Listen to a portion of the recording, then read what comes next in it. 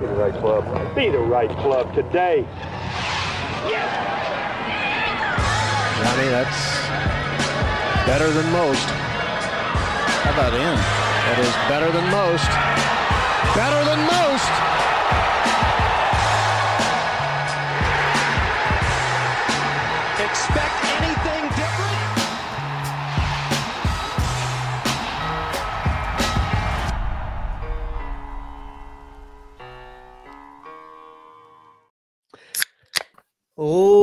Ladies and gentlemen, welcome back to the No Laying Up podcast, the No Laying Up live show, the No Laying Up everything.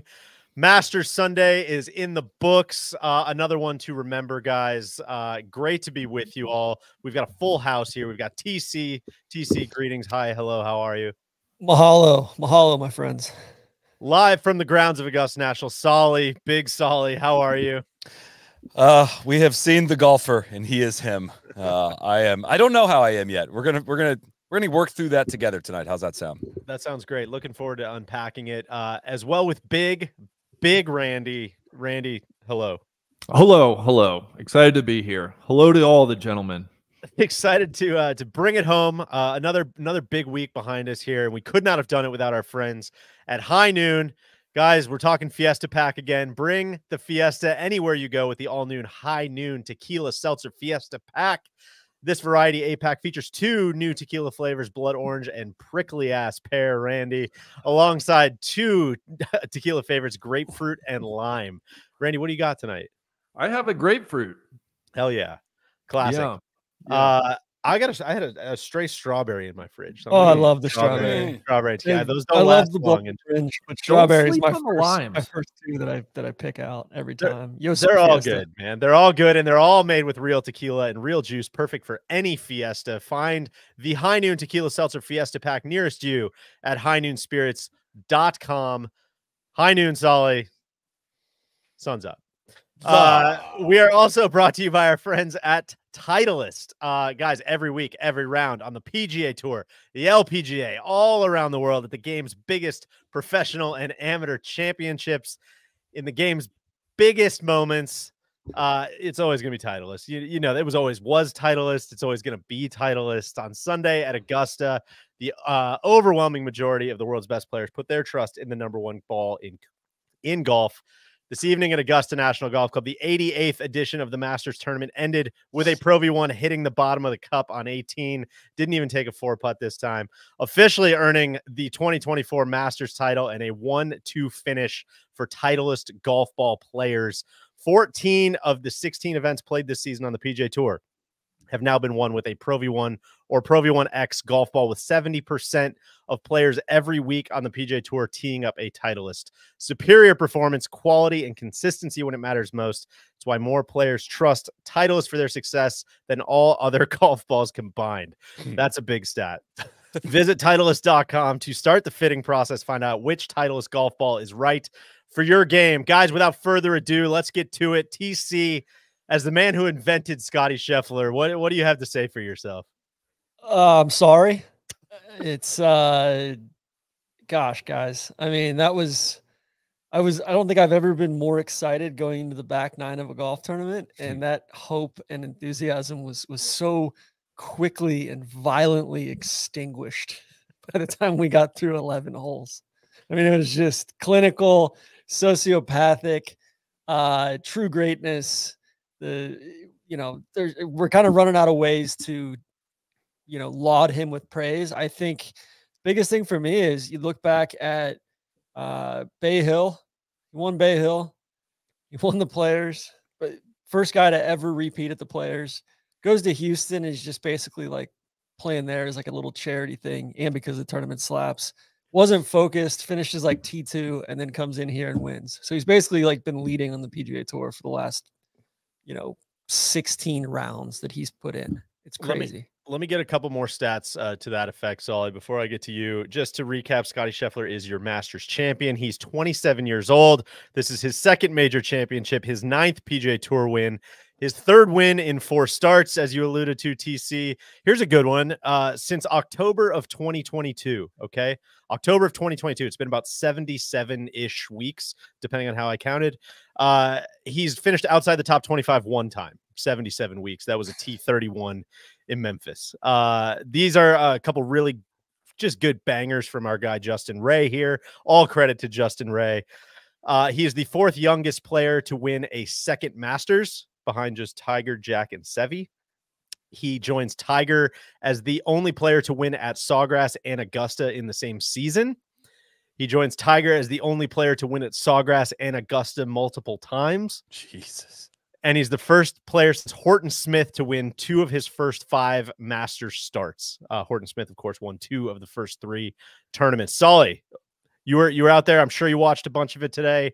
Well, a- any adjectives that we're missing here? Any, or should we just shut the show down now? Well, I came back to Slack, obviously just hundreds and hundreds of messages. The first one I read was, man, we got to like come up with ways, like different ways to describe how good Scottie is. 5:45 p.m. What I wrote down in my book is, whoa, we got to come up with new ways to describe how good Scottie is. Like it's it's it's outrageous. You, I think in your description there, TC, I think I heard uh like a new nickname for him, which would be like he's the hope extinguisher.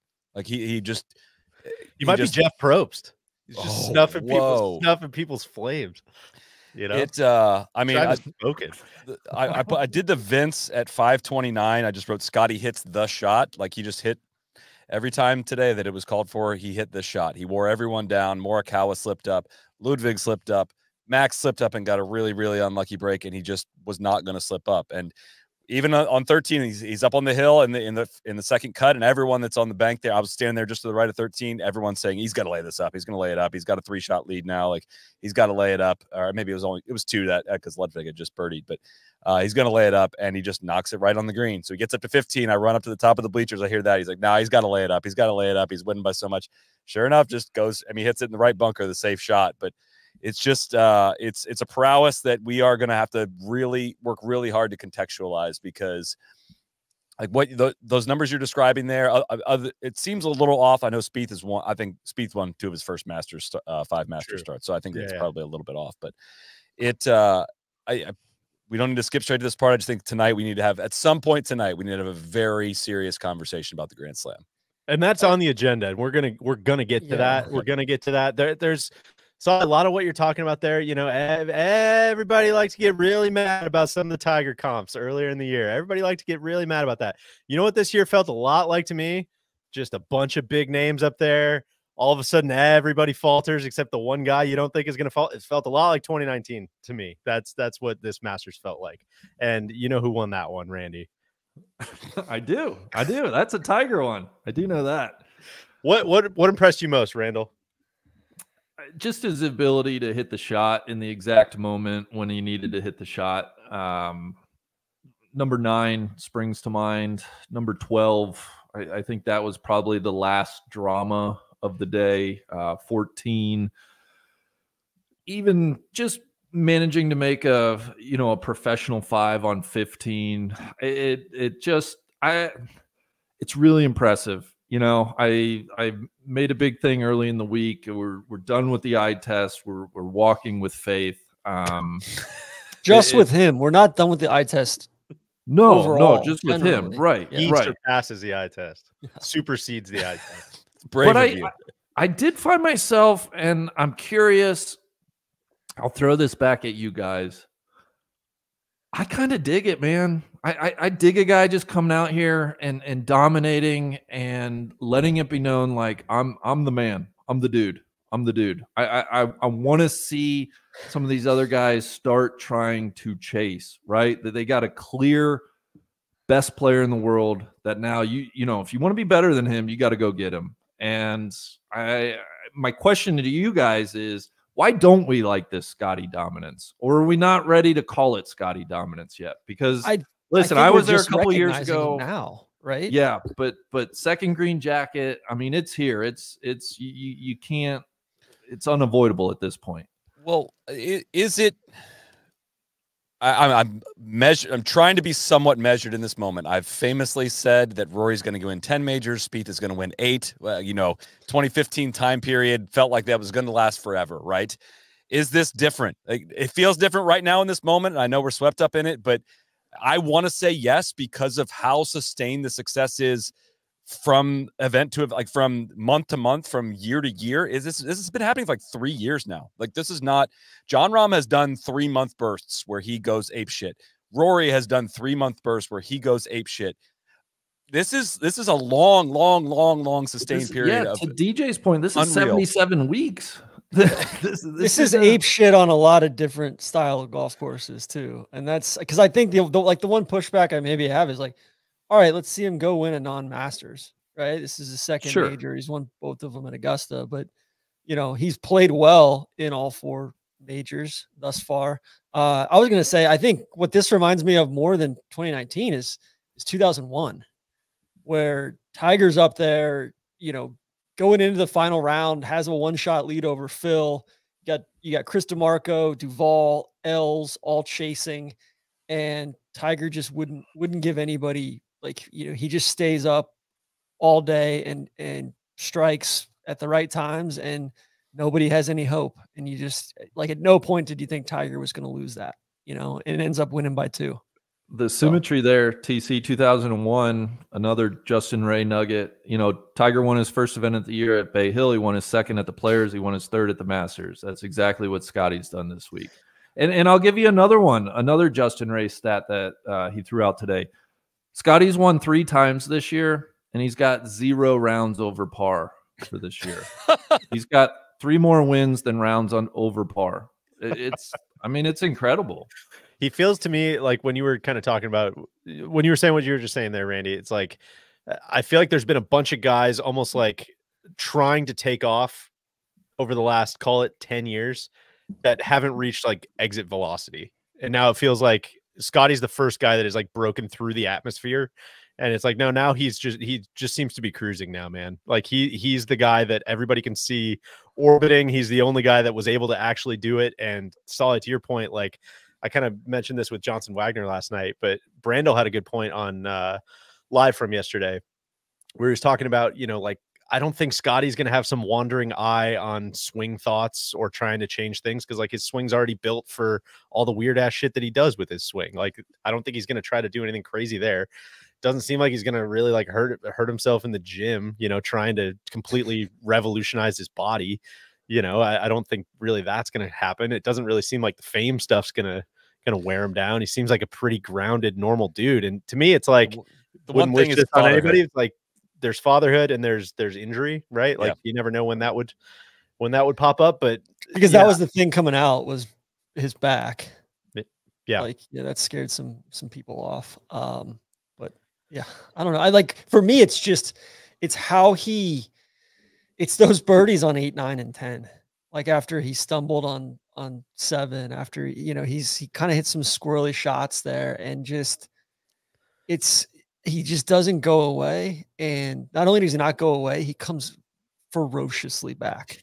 I mean, the birdie on nine was just like I don't know how that ball didn't go in the hole. Like That that, should have so been an sick. eagle, right? And Yeah. and especially after both guys in the previous group just missed that slope and you know hit it just past that, and then he comes into ten, birdies that one, and then you know hits the smart shot on eleven, and the worst he's making there is bogey. I think the right? one on nine truly like if you would have asked him beforehand, like draw a one inch by one inch square of like where you're trying to land that ball, like he he might have been within like two inches of where he was looking. That was uh, unfreaking believable golf shot. And it, that it's was just such a great spot too. of, Like CBS, we'll talk CBS later on, but like they did such a good job this week of of capturing that approach shot across the whole field. Like just looking up and you get that big expanse of grass and you see how uphill that shot is, and you're and Scottie every time he hit that shot this week, or three out of the four times he hit that shot this week, like he that was one of the coolest shots he hit all week. Each round was just him hitting like like precise diagnosis of what the proper shot was on nine. It uh, back to what you were talking about, Deej, about projecting the longevity, and and I've I've told this story a couple times on here, but I'm sure Sunday Masters Pod has a few new listeners. But I I, I really ramped up the Scottie rhetoric after spending some time with him uh, last June, him and Spieth, and like talking to Jordan Spieth about the golf swing, and then talking with with uh, Scottie Scheffler about the golf swing. I was like, oh, okay, all right, this is different. This is really different. Jordan was at the time about as technical as you could have been, and Scotty said something that like haunts my haunts my golf like swing thoughts. He just said like. I, all, everything I'm doing in my practice and my training is preparing my body to react athletically in competitive situations. Like that was the whole thing. It was just like because I asked him what that weird awkward finish is. He's like, "Yeah, that's when I know when I get to blah blah blah point, I know I'm late, so that's me saving it." Like it, all all everything is built to be able to do that in the actual moment. And I, if I probably go back to around that pod of late June, I was like, "Hey, I, I, want some more Scottie stock because he seems to have come up with the exact way you should tackle professional golf." And I'd love to hear him talk more about that and expand on that. But he that's that that's the kind of stuff that makes me think he's actually special, right? I've never heard he truly doesn't go through stretches where he hits it way offline. I, I can't recall one single stretch where he started. He does some dumb stuff from time to time, but the way he slides into the shot and uh, his athleticism is uh, I don't know. He does it differently than everyone else, Ace and he does awareness. it that much better. Like it's it's uh, I, I've said this again. Like this is the hardest generation to separate yourself from a group of of uh, the top level competitors, and he's managed to do it to a level we haven't seen since Tiger. Like no one has been this good at separating from a field uh, than he has since Tiger. I think another again speaking of Tiger, another comp, but I I think if I'm remembering right, I think maybe he's the first favorite to win the Masters since 05. Is that what it was? Correct. Right, which is another Tiger stat. Crazy. I think the way that he plays the par fives reminds me a lot of Tiger, where it's just like no, like the way we always talk about par fives is like hypotheticals, right? Where it's like, well, first you like hit it here, and then you you get it up there around the green, and then you you get up and down and you make birdie, and like you got to do that every time. He does that every freaking time, right? Like The fifteen, best chipper. It's not fucking fair. but it's like the the one on eight TC was like I I am like having you know uh, like a heart murmur going on with like what's going on with Max and I'm just like all right, I think he he might do this he looks unflappable this is unbelievable and it's just like nope Scottie's just like moving his chess piece from here to there and like oh no of course he's gonna make birdie th- oh god oh, okay now he's gonna birdie nine oh cool you birdie 10 just for fun oh awesome sweet he's in the middle of 11th Yeah. fairway oh he's safe there oh of course he hit it to 30 feet on 12 you know it's just like eh, it- he just keeps doing it like over and over and over, man. It just Well, doesn't it's- stop. It's Well, not. and, and it's weird to think about well, how much time and how many majors he may have cost himself, like with before switching to this mallet, right? I mean, he should he he should have won the Masters last year. He led the field in ball striking last year, and he lost over four shots on the greens at the Masters last year, and he finished T10. Like he should have been in the hunt in that one. He finished T2 at the PGA Championship. Uh, he finished a shot out of the PGA Championship uh, uh, playoff with Matt Fitzpatrick at Brookline. It's it's I mean, he could be sitting on, you know, coulda, woulda, shouldas, but he could be sitting on more than two majors as we're sitting here right now. I can't get over the shot into five. Like that was that was today where those guys, Max, Ludvig, all of them, like man, this is like exceptional golf being played. good. That shot is so hard, and those guys were just just peppering that flag, peppering that green, and and and then you know six was tough today, and everybody stood up and you know hit a pretty good shot Mm. in there. I know Ludvig's rolled down to the front, but like he didn't miss his his spot by much, and you know, and then seven, you get a little bit of a little bit of adversity for some of the guys, and then you know, eight and nine was just a clinic from everybody. So The, yeah. the thing about that shot for Scottie on five too, and he talked about it a little bit in Butler Cabin afterwards, was like number one. So the the whole thing we've said it eight million times this week is like distance control for Scottie and hitting the right shelves and hitting the right spot, leaving himself the right birdie putts, all that stuff. Number one, he's in the middle of the fairway, hits like by his standards a pretty bad shot. Like that was, I don't know, 15, 20 yards Oh, short, it looked yeah, like, right? like- Spins off the front of the green with like jarring how looks like a short iron in his hand. Number two, he goes way freaking long, leaves himself like a stressful one, and ends up, you know, making a par. And so, like when the distance controls off, is usually the the the sign of like, oh, maybe something's up, mm-hmm. right? Like maybe something's a little a little wobble, and then it's like now then he stuffs it on five. And by his account, like in Butler Cabin afterwards, Randy, you were laughing about it. It was like. Yeah, it was kind of weird. Like there was a couple holes where I just like wasn't hitting good iron shots, which is like, which is strange. It's like how That's the thing. Like if the Masters were five rounds, Scottie would win by nine or ten. Like I, I honestly felt like he was just starting to play his best golf of the week. Yeah, very true.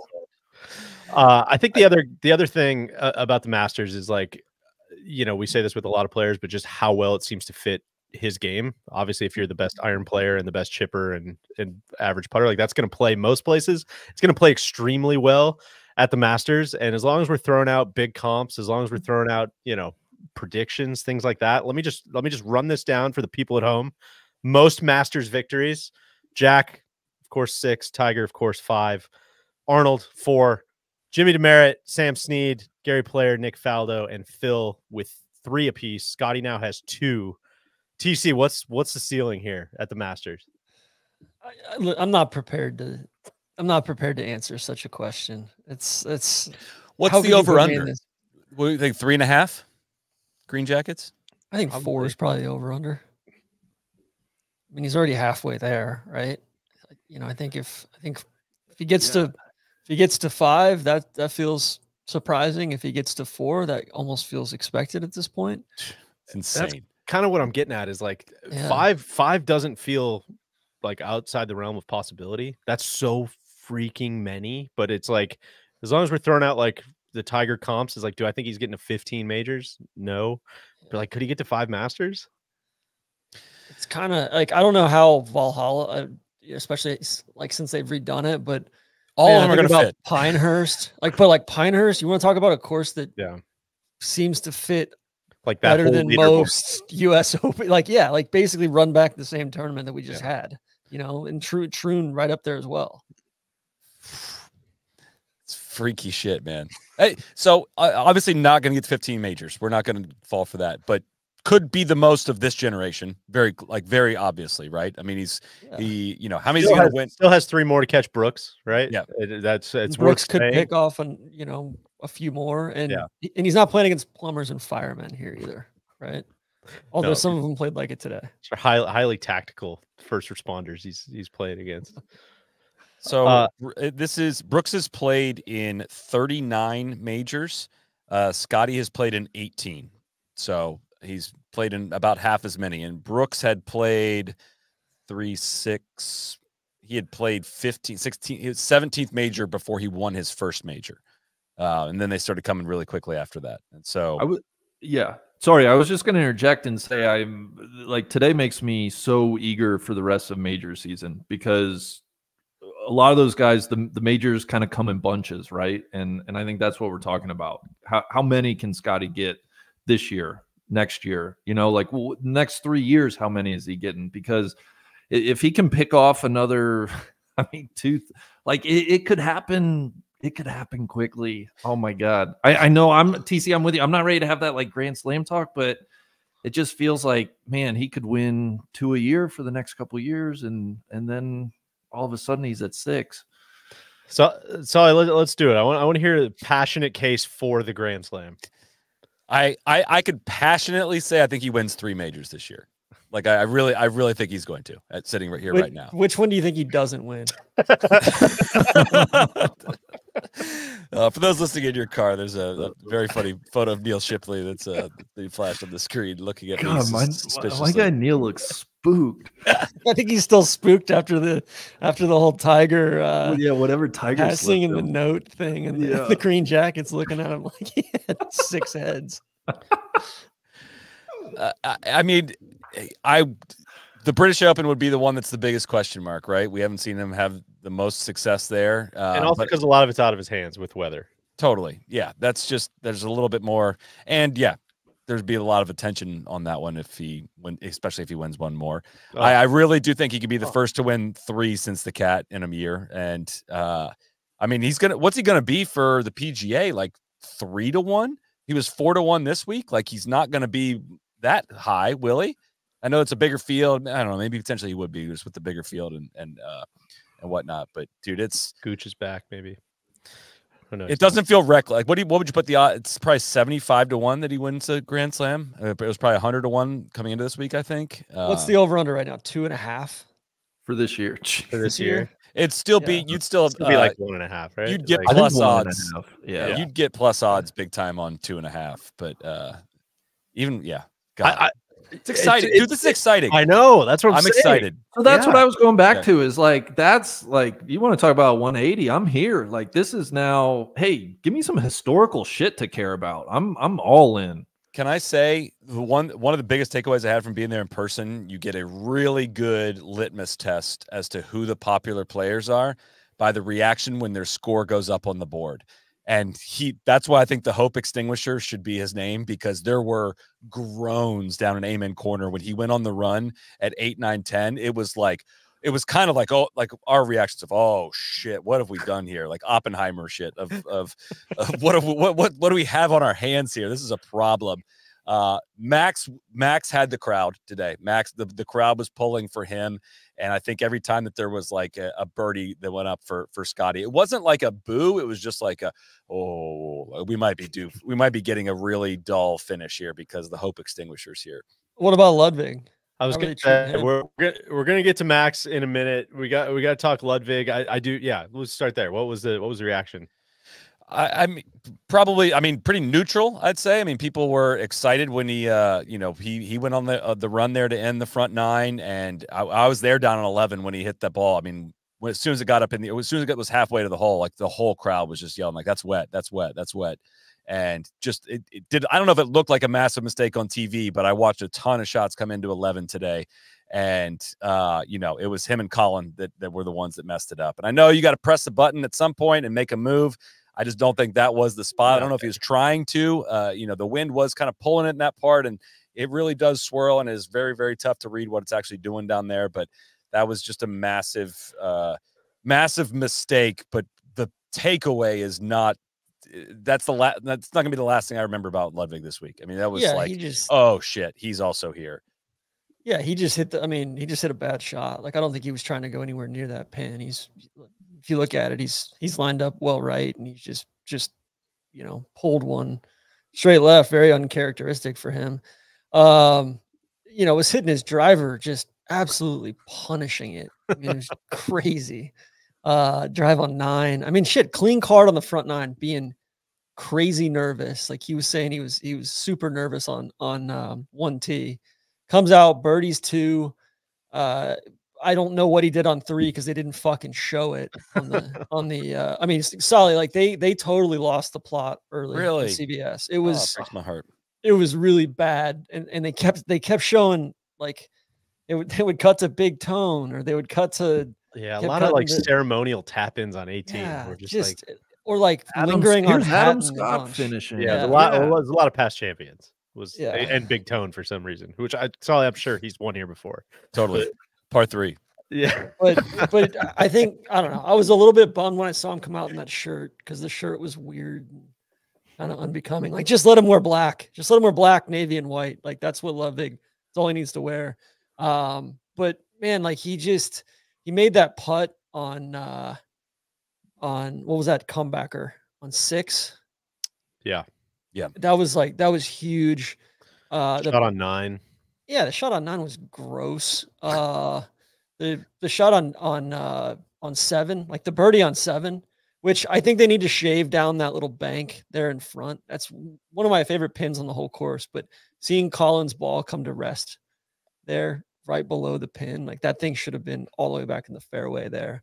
Um, but yeah, and then Ludvig, obviously, you know, 11, he hits a proper shot into 10, 11 struggles, and then really great two putt on 12 birdies 13 and 14 and you know 15 kind of had his number this week. He needed to needed to run that in on 15 he he improved over like he hit a good wedge in there that was super close to being tap in.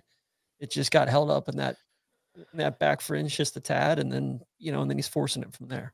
And the I eye think- test here, just real quick, Deej, the eye test and the data supports this. TC, it just whenever something goes wrong for Scottie, which is extremely rare, he's also the best chipper. It's insane, and it's Hoygaard and for Ludvig. Like when it when they really needed the precision, and Magusta is just the emphasis on that stuff is just tighter, and with that level of firmness, like the shots into 15 and, and things like that, just needed that level of precision. Scottie was first in strokes gained around the greens. Ludvig was 51st.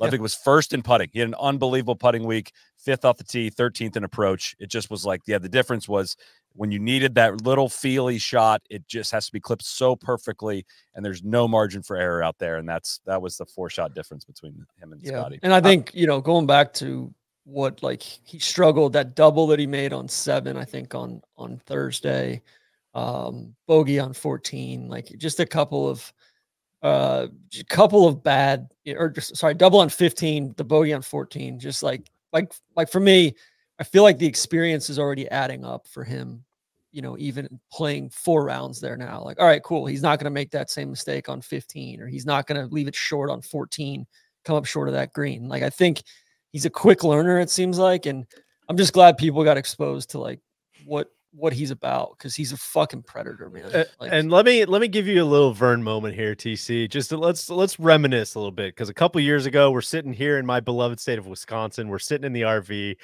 This this Ludvig guy is in Texas Tech. TC's making these bold proclamations. It's now what two and a half years later. He's going to be what the sixth or seventh ranked player in the world. He's the runner up at the Masters. He's a Ryder Cup hero. Well, are, where are we at? I mean, is this? Uh, have, did you ever make it this far in your dreams? How, I how are- did. how are I you? did. He- he right wins now? in, Are we ahead of schedule? Are we? My guy on got to play with him in Sweden. I mean, Yeah. No, I think we're right on schedule. Yes, of course. This thing started as a bit, but truly, like once I kind of dug in, I was like, oh no, like this guy's like Oh, sick! I the nailed real one. All right. deal. Like he, like when he won at the Prestige out in out in the desert, like and the wind was blowing forty. Like no, he's a real player. He's a. I mean, shit. Like Randy, you were saying it earlier. Like, but Butch Harmon, Sophie Walker, you know, tweeted Yeah. that. Like Butch is Butch is over the moon about the guys. our, Look- our friend Sophie Walker, I, I didn't watch it, but Butch was on BBC this week, and Sophie said Butch is so excited about Ludvig, and he has seen them all over the years. And I thought that was just a really cool little nugget there. I mean, some of his little like facial expressions after after Oh, putts today were vibing so awesome. when he when he dropped the power bar or whatever Yeah. bar was after nine, like the dude has it, man. He's got poise. He's kind of like like I think if you're looking at at someone I'm really rooting for because you know Scott Scottie's boring, right? Greatness like greatness isn't boring, but Scott Scottie's boring, and Scottie would probably be the first one to tell you that, right? Um, and and I think Ludvig seems like he's got kind of that joie de vivre, that that you know swagger, and he plays so freaking fast too, which I love. Like he is up there, getting into the shot and hitting it. And man, I'm I'm excited to see what he and Joe do over the next next five years. Somebody here told me this week. They said somebody at some point you have to give TC shit for for all the claiming inventing invented Ludvig. He was the number one amateur in the world when, when this whole thing started. He was number real bold out on a limb, uh, being the number one amateur in the world. Yeah, This- but like not my Kita words. Nakajima, like there's there's other like, also your boy there's a, there's a lot of like number one amateurs in the world out there. Takumi Kanaya. I think that was your boy. I, I- again, I, I don't, don't think most people have heard me six the ride for world, though. them, right? Yeah. Yeah. Uh, I. I was just gonna say real quick. Sorry, I, one one of the most fun things I think in any sport, and it certainly held true with Ludvig this week and today especially, is just seeing a young person, right? That that just feels and looks at ease in in a big moment, and it's so impressive because it's so foreign. I think to me and probably everybody watching, like I can't imagine being looking acting that cool in in such a moment and when you when you get to see that in real time for the first time it's it's very special. And i i think that's my biggest takeaway with ludvig is just like damn tc like you were saying he's just he's just Got it. cool. I loved his attitude and it, it's really fun to see that. And look, you don't need, uh, you know, some of the takeaways I have from being on site are similar to takeaways I have from watching on TV. Like, you don't need somebody on site to be like, you don't understand how big this fucking tournament is and how big of a deal it all is. But you do feel it when you're there. And like, I when the when the uh, second to last group, when their group was teeing off on 16, the one thing I wrote down in in my in my notebook was like. I'm nervous. Like I was legitimately like my heart was fluttering standing on top of like the tournament was almost decided at that point, but there was just so much angst uh, in general around that whole bottom area of the property and everything, and like all the people stacked down there, the stillness of the of the water and the way the sun was coming down. Like if that's like Ludvig's debut, he gets to experience that in his debut. In his debut, has that experience, played that well. I mean, he played so fucking good this week. It's it it uh, not to not to say I needed convinced on him, but it was like, dude, now you just go into a different category. Like, you know, not the kind of wait and see. It's like, no, now's the time. I mean, he's going to be what one of the five lowest favorites for the PGA. I mean, what have to be at this point. Solly, it, and he's. I think Yeah. there's some low hanging fruit there for him to improve upon. Like you said, with the chipping, he's already improved upon it since Beth or since uh Marco Simone. I think he's like he's he's been hard at work on his chipping. The putting's improving. Like I think the wedge. I think too. I think the wedge dispersion's improving. Like he's and just situational awareness is only going to improve. Like he's he's a fucking quick learner and man, like Well, he's gonna he's gonna win one of the next four or five majors. And I think, like, you know, not to say that I would be one of the people who like saw this coming, but like, I think it's a little easier to see coming when you see that like the foundation of the house is built on hitting it 330 and straight off every Oh. You know what I mean? Where it's like, dude, if you, oh, well, if you got that, like, shit, man, like the, the other stuff doesn't even need to be Kind like an easy game. Well, it doesn't even need to be like that, like crazy Yeah. good. It's like, yeah, Brian Harman's got to hit his irons really freaking good, like that. That he really needs to if he's going to contend. It's like, man, if you're you're already like that far down there, and every hole is just it's a different game. But Guys, I'm appalled that that uh, I'm being accused of front running world amateur golf ranking number ones. It's the most fraudulent ranking in the world. 10 times worse than OWGR. I put no stock in it whatsoever. we will, uh we will. uh, That's gonna be a whole separate podcast. I think we got to we got to spin that up into It's its behind the series. paywall. eight, eight part series. Uh, all right, let's talk about the pro, should we? Uh, Max 73 73 on the weekend. His first big, big, big, big taste of major championship contention. Uh, Randy, start with you. What what kind of grade would you what, what grade are you giving Max this week? Uh, overall, I give him an A minus. I I think a lot of that has to do with it. Listen, this was his first time really being in contention at a major championship, and and that's a big deal.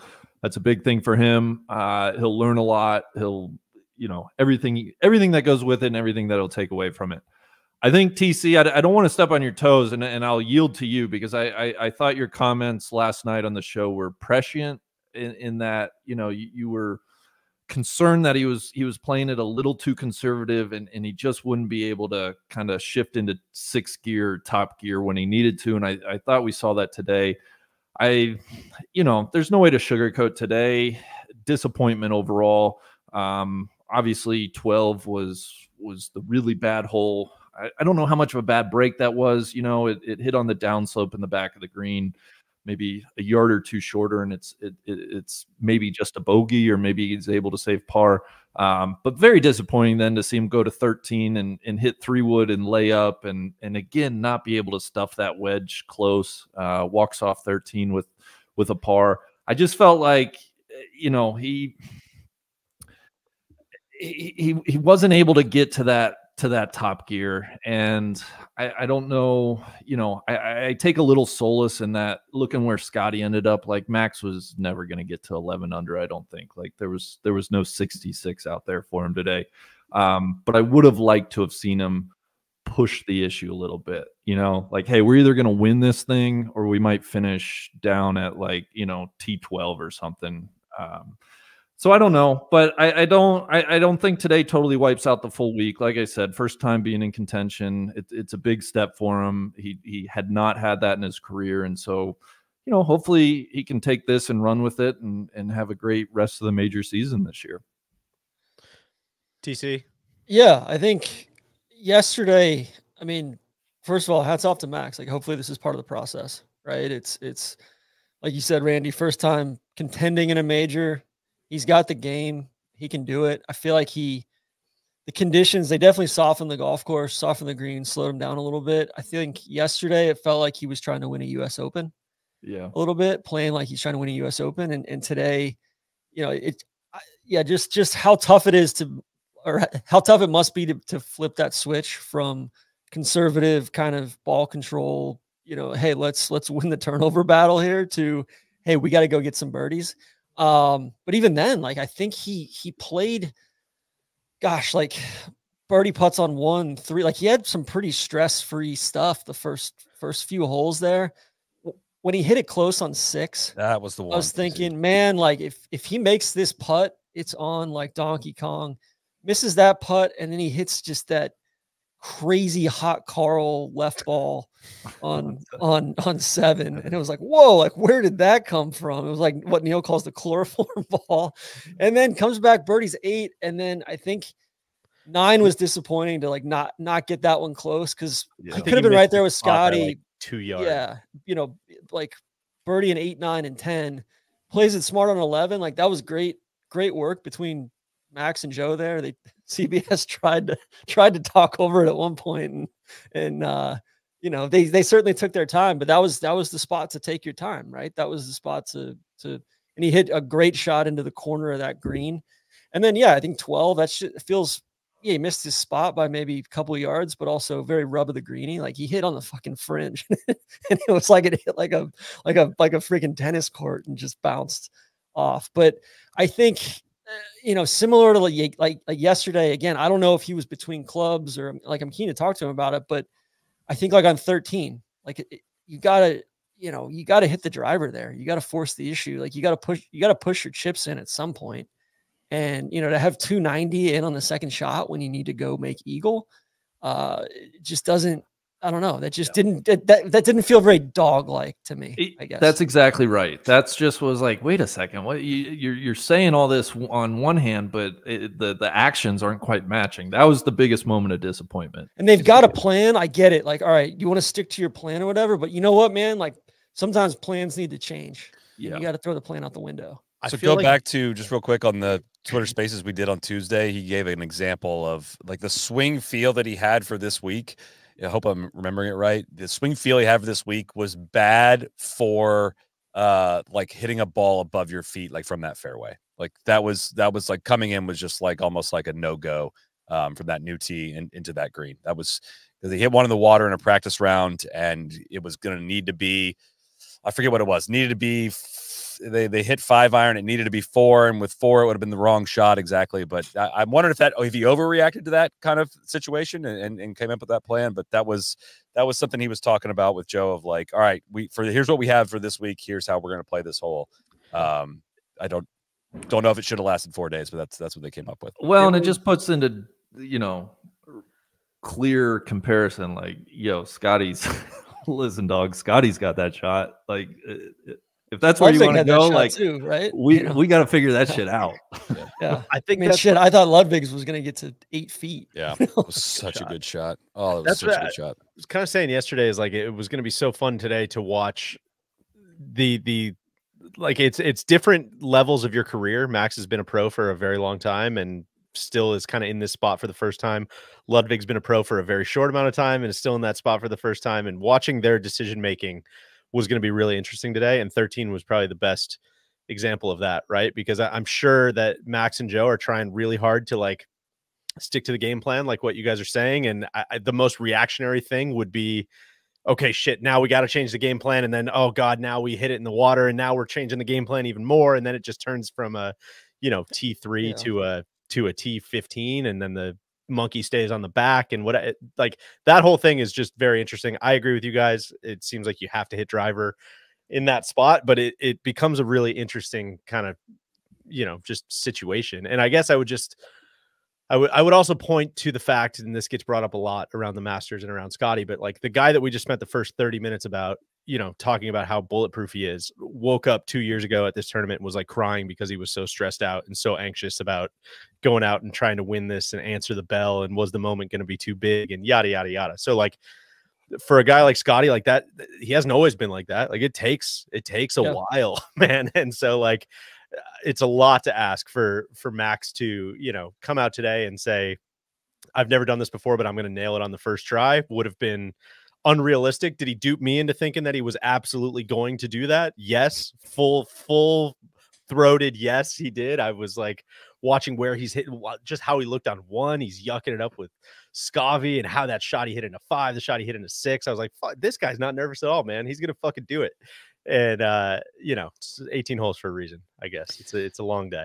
I don't think it was nerves that got him though, is the thing, man. I, I think he's probably gonna look back probably pretty proud with how he competed into the weekend and and what he was able to accomplish. I mean, it. uh it, I, I ran to Lacey, I ran into Kipper, his agent, you know, before they went off, and I was like, "All right, how's our how's our boy doing?" They were like, "They were." I was nervous as shit. I could not contain my nerves, and they were both like, "He's fine. Like, he's doing great. He's really excited." And he, it felt like he played excited. It didn't feel like he played overly timid or scared, or or you know, he kept so- talking about in his interviews about being instead of like having doubt creep in on what you can't do, like reminding yourself of what you can do. And like that feels very real to me. Like there's no, not a coincidence that this is his best major championship finish by far, best performance in a major by far in terms of actually being in contention with like how he's talked about his mental approach over the last weeks, months. So I, I did him with him at the players, and there was just like a, a different dude in terms of uh, you know his understanding of how his body was reacting in competition and all those things. So I'm super proud of the dude. I know he's very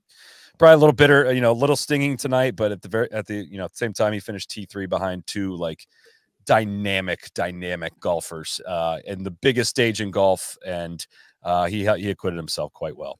I mean, he, shot, you have s- he shot 73. If he shoots 67, he still loses by one to Scottie. Right. And and, Right. and like while while he's making that decision on 13, Scottie's still Scottie's standing on the tee on 12, and you don't know what Scottie's gonna do. Like, you know, Scottie, of course, hits the perfect shot, you know, just the the absolute right shot at the right time, which he always does there on on 12. But you know, any any number of things could have happened there on that shot, you know. So it's listen, like don't want to second guess, but at the same time, I'm just saying I think I think the decision on 15 as well. Like, all right, if he doesn't like that that shot above or that you know shot above his feet into 13 green. What about the decision on 15 yesterday not to go for it there either? Because he hit a really good one in in on 15 today. Like hit Mhm. hit it like almost. I mean, almost had a really really makeable eagle putt there. Just took a big hop the first I- one. that's what I think that the hard thing about 15 was it just doesn't it did not hold this year, right? So almost no matter what you're chipping from long of that green and uh I I don't know what the easier shot is. I know like the the the data would probably tell you just hit it long and chip up and you're most likely to make par. You may think you have the best chance at making four, spinning a wedge close uh, from from you know from the fairway, hitting up into the slope instead of chipping back downhill. I don't know the answer, but I just I I, I watched a lot of golf on 15 this week and like waiting for a big hero shot, somebody to stuff it and make eagle, and just nobody could hold that green. It was just that Yeah. firm. I think I think on 13, I just wanted to see better wedge shots. I guess. Yet That that's the thing, right? that was a huge thing I wrote down too. Was like, dude, he he's gonna replay a lot of those, and he's gonna be a little upset with uh, his wedge game on the par fives. I didn't see all of them, but I, I all the ones I did see, especially into 13 and into 15, he just did not hit the shots he needed to with with wedges. So It's weird comparing him his scorecard, Scottie's scorecard. Obviously, he played under par all par fives for the week. He didn't give up any shots. The issue is here, Scottie on 13 and 15 going through there five under for the week. Max getting through there with one under for the week. And then if you look at 12, like he played 12 really, really bad. Not just the double today, but bogeys in round one and round three. guys, I've never seen guys struggle this hard with 12. I mean, that it, it I don't know if I, I didn't see it. I we couldn't see the bounce from where we were. On, like eh, he just it, was he just a little long with the wrong spin uh into 12. Like landed on the backside of that, like where the fringe Yeah. stops and there's a Got it. little dip right behind the green. Just landed on the backside of that and shot directly into the bush. Max was uh, 14th in strokes gained off the tee for the week, seventh in approach, 18 around the green, and 13th in putting. These are courtesy of Data Golf, of course, but um, so just solid across the board um, uh, performance in all ways. Because he, uh, you know, I know it only matters if they go in, but man, he hit some lips too I know. yesterday, especially. It, it, it could have been different, but it wasn't different. Um, but it is cool to see him back up. You know, last year's British Open, his first top 10 to come back, first major this year, put himself in contention. Like, I hope on a personal level, like, hey, let's keep building. I, I think if uh, taking a broader, longer term view, I think it's all good stuff. For Here, sure. here. I think it's gonna it's gonna take a couple knocks at the door before we before we get the, a couple couple uh, whacks at the stone, as uh, as Max right. would would put it. I guess too. The other thing with like hindsight is it's tough to like. All right, this is Scottie's second major, second win. Like I think from here on out or moving forward, guys are going to treat it a little bit differently when they're going up against Scottie. Of like, hey, I got to throw the fucking kitchen Gravity. sink out, you know. And like I know yesterday wasn't the day for Max to to send it or to press. Like he got to a good spot where he needed to be, but at some point it just feels like, man, like that's you got to almost go full throttle at Scottie the whole fucking time. Otherwise, Or- like, because yeah, or- because like he's got so much in the tank too. Where like I, I feel like if if let's say Ludvig doesn't double eleven eh, or you know runs in the eagle on fifteen or something, I feel like Scottie then takes it to like thirteen. Like he, you know, like, That's, like I know. that's- that's my favorite comment of the day. It's like, oh, no, he was just gonna get to whatever number he needed to get. To. So it's all arbitrary. I'll say the scary thing is like, well, the whole time you're saying that, TC, you know, I was thinking of was like, or, or as sad as it might be, or you start playing for second. Yeah. Honestly, like protect I, I, the points. I I mean, I, I, I, I don't know how you're getting past that guy. I really don't. When he, when he's on, when he's even remotely on. So I don't know. I want to uh, I want to talk a couple big picture things because I think at, least that stretch on the front nine, I would say through let's say I mean I was having a bad time after Max's shot, but that was that was high high high drama. So I'll say at least through Scottie getting Scottie getting through 12 or 13. I mean that's I, I would say as good of a golf tournament as I've watched. Uh, I, I mean that was like it's kind of as good as it gets. TC, I'm gonna start with you. What what's one thing? Why why why was it like that? What's one thing that made this Masters like as good as it was? Um, good question. I think it's because it demanded truly the best out of the out of iron play, where it's one thing when guys can use slopes or funnel things in. It's another thing when like it was just so exacting out there, and even after they kind of slowed it down today a little bit, it was still that way. They were still firm and and you know firm and bouncy, and it was it was just. I think we get so many rare occasions to see these guys have to be at their complete best. And when we do get it, like the cream tends to rise to the top. And I think you know, you just take one look at this leaderboard and like it separated out the best player in the world from the rest, and he did it and convinced. I mean, he beat everybody except for Ludvig by seven shots. God, it's wow when you phrase it like that.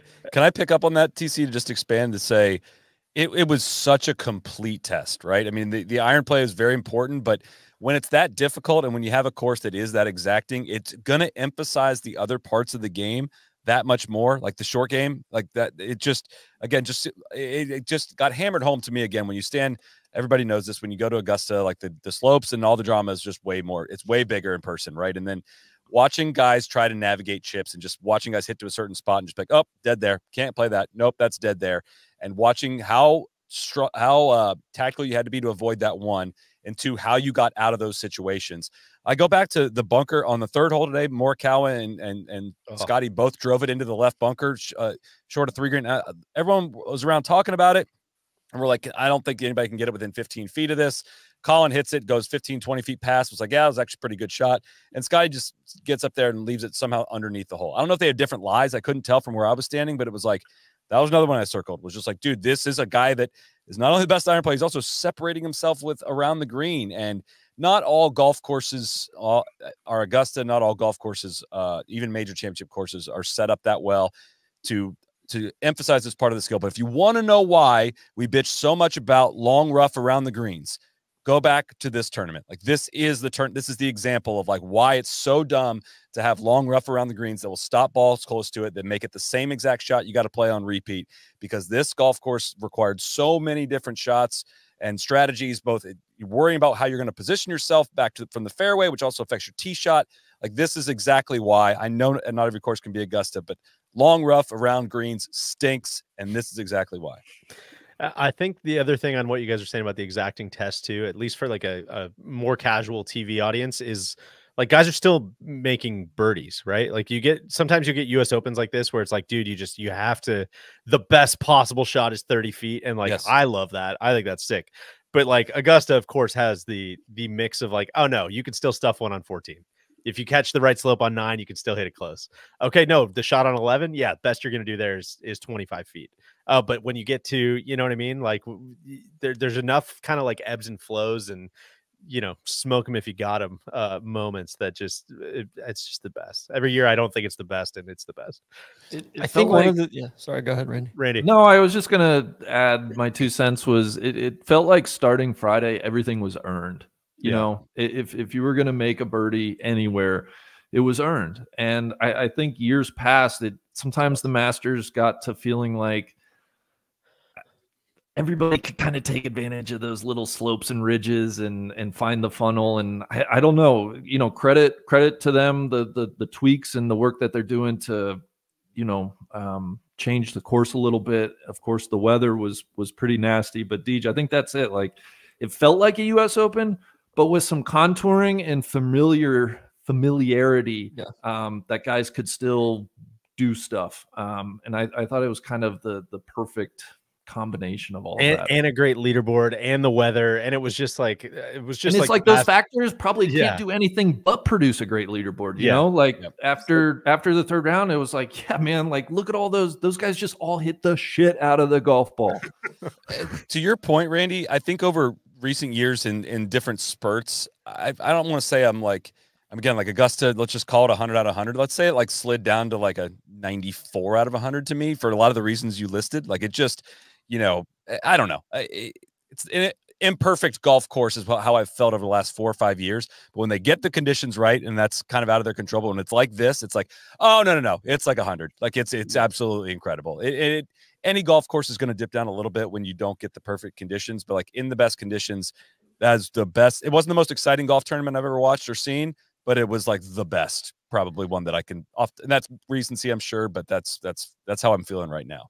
I think there's a push pull between when the conditions aren't exceptional, like the par fives seem to shine, right? Mm-hmm. Like those are, you know, guys can can put the pedal down and really get aggressive. I felt like this year when the conditions were optimal, holes like three and seven and 14 really, really shined. And I think that's a like because those those margins are so thin there, and you're you know there's a there's a very fine line between a birdie and a bogey on 14, yes. for instance, yesterday and today both. And mm-hmm. you know, or or knowing, all right, you know, these guys are playing out way left of this pin on 17, or you know, there's there's a very, very fine line between a good shot and a great shot. And um, but that's not always readily apparent on, you know, 13 and 15 when guys are just pinning their ears back, right? Uh, it's it's also funny to me that like we talk about it like this, where when we go to the British Open, it's kind of like, hey, it's firm this year, guys. Deal with it. Like yeah. it's it's so much more like manipulative. Oh and, yeah, yeah. You know, in a bubble here versus you know. All right, I think I think we got an arm warming up in the bullpen. Solly, I think KVV is uh, is going to drop in. He was over at the Scottie uh, press conference. I'm sure he's got all kinds of nuggies to drop on us from that. Before we do, I mean, it's been the bit of the week. Uh, voicemails. Uh, let's get one more one more hot, hot, hot news from from Solly. Cody, please. Max Homa, man of the people. How did he spend a long morning before an afternoon tea time at Augusta National shopping at Walmart? That's right, it's his wife's birthday on Tuesday. He went to Walmart this morning to buy her some flowers. Pros are just like us. Is that true, or did you make that one up? Swear to God, Swear. that's pretty fun. Yeah, you get like, at Walmart. Just yeah, he's doing fine. He went to Walmart. He went and shopped at Walmart this morning. Like what? He's like, yeah, he had to go get flowers for for Lacey's birthday. But that's all I could uh, drum up today. It was too tense out there. I, I couldn't able uh, well, able to make it. That's fine. Actually, it's good. Good timing. Why don't you go grab KVV? Because right. actually, it sounded like some celebrities got the voicemail line uh, oh, today, no. and, and we've got some, we've had some call-ins. I couldn't believe. I was touched and honored by some of the people that called in today. So I, I believe the first one was Verne Lundquist. Uh, Cody, is that right? Do you want me to go get my guy first? Yes, please. Okay, I'll see, I'll be you. back shortly. Okay. Hello, No Laying It Up podcast. Verne Lundquist here. Folks, before I go, I just want to say that a few parting words. Gary Player told me years ago I should eat more salads and not have a bourbon at night, and perhaps he was right. But I also want to say, in your life, have you ever seen a bigger dickhead? Thank you for the memories. For, God, perfect timing. For, for for legal reasons, of course, that's oh. parody. That was not yeah. actually Verne Lundquist. We love Verne Lundquist. Uh, that was our dear, dear KVV. Uh, Kev, how are you, my man? I am swell. I, I'm so honored to, that Verne called in for my my uh, final show this week. That was very exciting of him.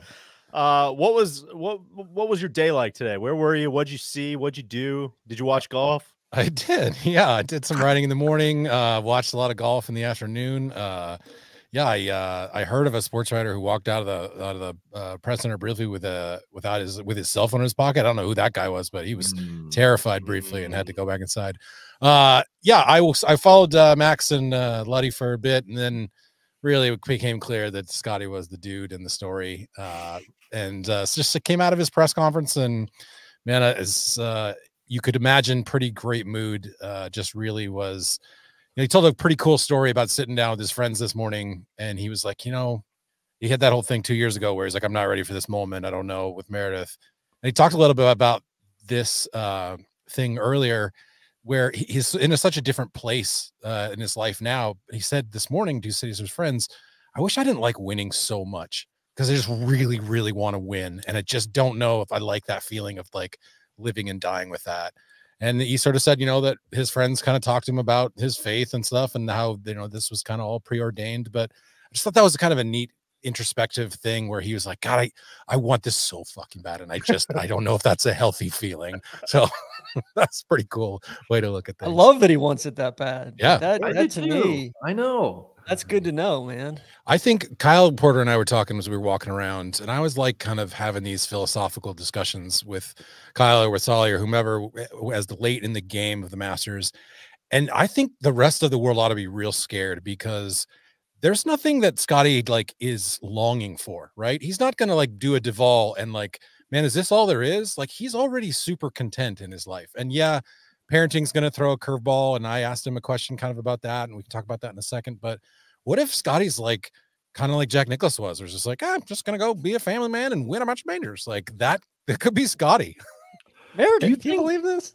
Do you think Scottie, Kevin? I'm going to ask you a question that uh, purely your opinion. I, you Mhm. know, a month ago we heard Scottie at the players' press conference talking about the the the split, and it, it was the most pointed remarks I've heard from him, and honestly, that I think we've heard from many a person on the PGA side, just talking about like, yeah, they they left. You know, essentially they left. Whatever. People can go back and read the press conference. My question is that has to be fuel for him, right? Like Yeah. he's got to use that. And and I was just thinking of the green jacket ceremony today with uh with Rahm putting the jacket on him. Like there had to be a little part of Scottie that just relished that. I know he'll never say it publicly, but what but what do you think, right? Like he he he has that competitiveness, right? Yeah, I think he wants to kick everybody's butt who's in front of him, and I think that you know he's a little bit annoyed that people are sort of you know I think running from that, and you know he he's not a cocky person, but he is like I really want to beat everybody, and so I don't. He doesn't get involved in the sort of the the board stuff, but I do think he there's a little bit like you know what, like let's just freaking stop whining about this and just keep kicking ass. Like, whoever's around here, that's who I'll beat. Like you tell me the guys are going to come back, great. I'll beat them then too. You tell me they're not going to be here, then screw it. I'll beat these guys. Like that's I think how he kind of looks at it without being outwardly like braggadocious about it. What uh what did he say about the parenting situation? Impending parenting situation, I should say. Yeah. He actually had a really, I thought, sort of funny comment. He said, you know, when you get married, all these people are like, oh man, your life's over. Like, oh, like, well, what are you going to do? You're going to be a married guy? And he's Randy- like, that's what Randy said to me. yeah. And he was like, you know what? I was like, no, I think it's the right call. He's like, no, dude, come on, bro. You're gonna miss out on so much. Yeah, dude. exactly. and he said, "You know what, man? Like marriage has been pretty awesome for me. I really like being married, and I think I'm gonna like being parent like even more. Yeah. hey, I'm all I like. I get it. I think that there's people out there who just like could look at that perspective and be like, oh god. But you know what? This dude is married and has kids. Like it's pretty cool. And I think that's a pretty kind of interesting perspective to put that out there and be like, oh man, like is it actually cool to love your wife? Like, yeah, it is. Just just so we're no, so we're clear.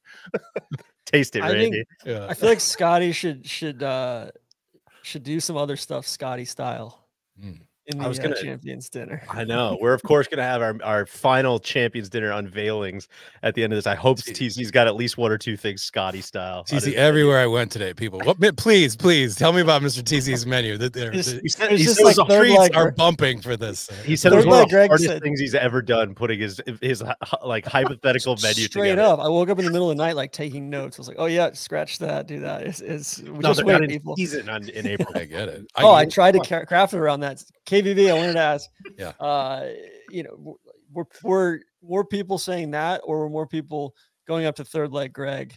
Mm. Uh, he said hundreds, if not thousands, was of people on his unanimous. Unanimously.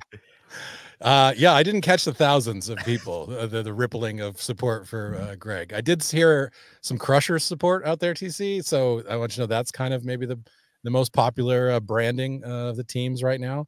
Uh, didn't see any Cleeks gear. I no shit. As I was uh, walking up 18, I heard a kid who was describing Solly's uh, scoops bit to his like mom. It's like, oh, champ, champ, Scottie Champ is the champion. Well, I mean, it's, it's very apropos because it's you know Scoops is a Dallas guy. That's right. Or- The ticket, you know. Hey, what was the what was the dynamic between like Scottie and and Colin out there? Randy's boy Colin. That uh, you know, kind of looked like he was he was in it until he wasn't there.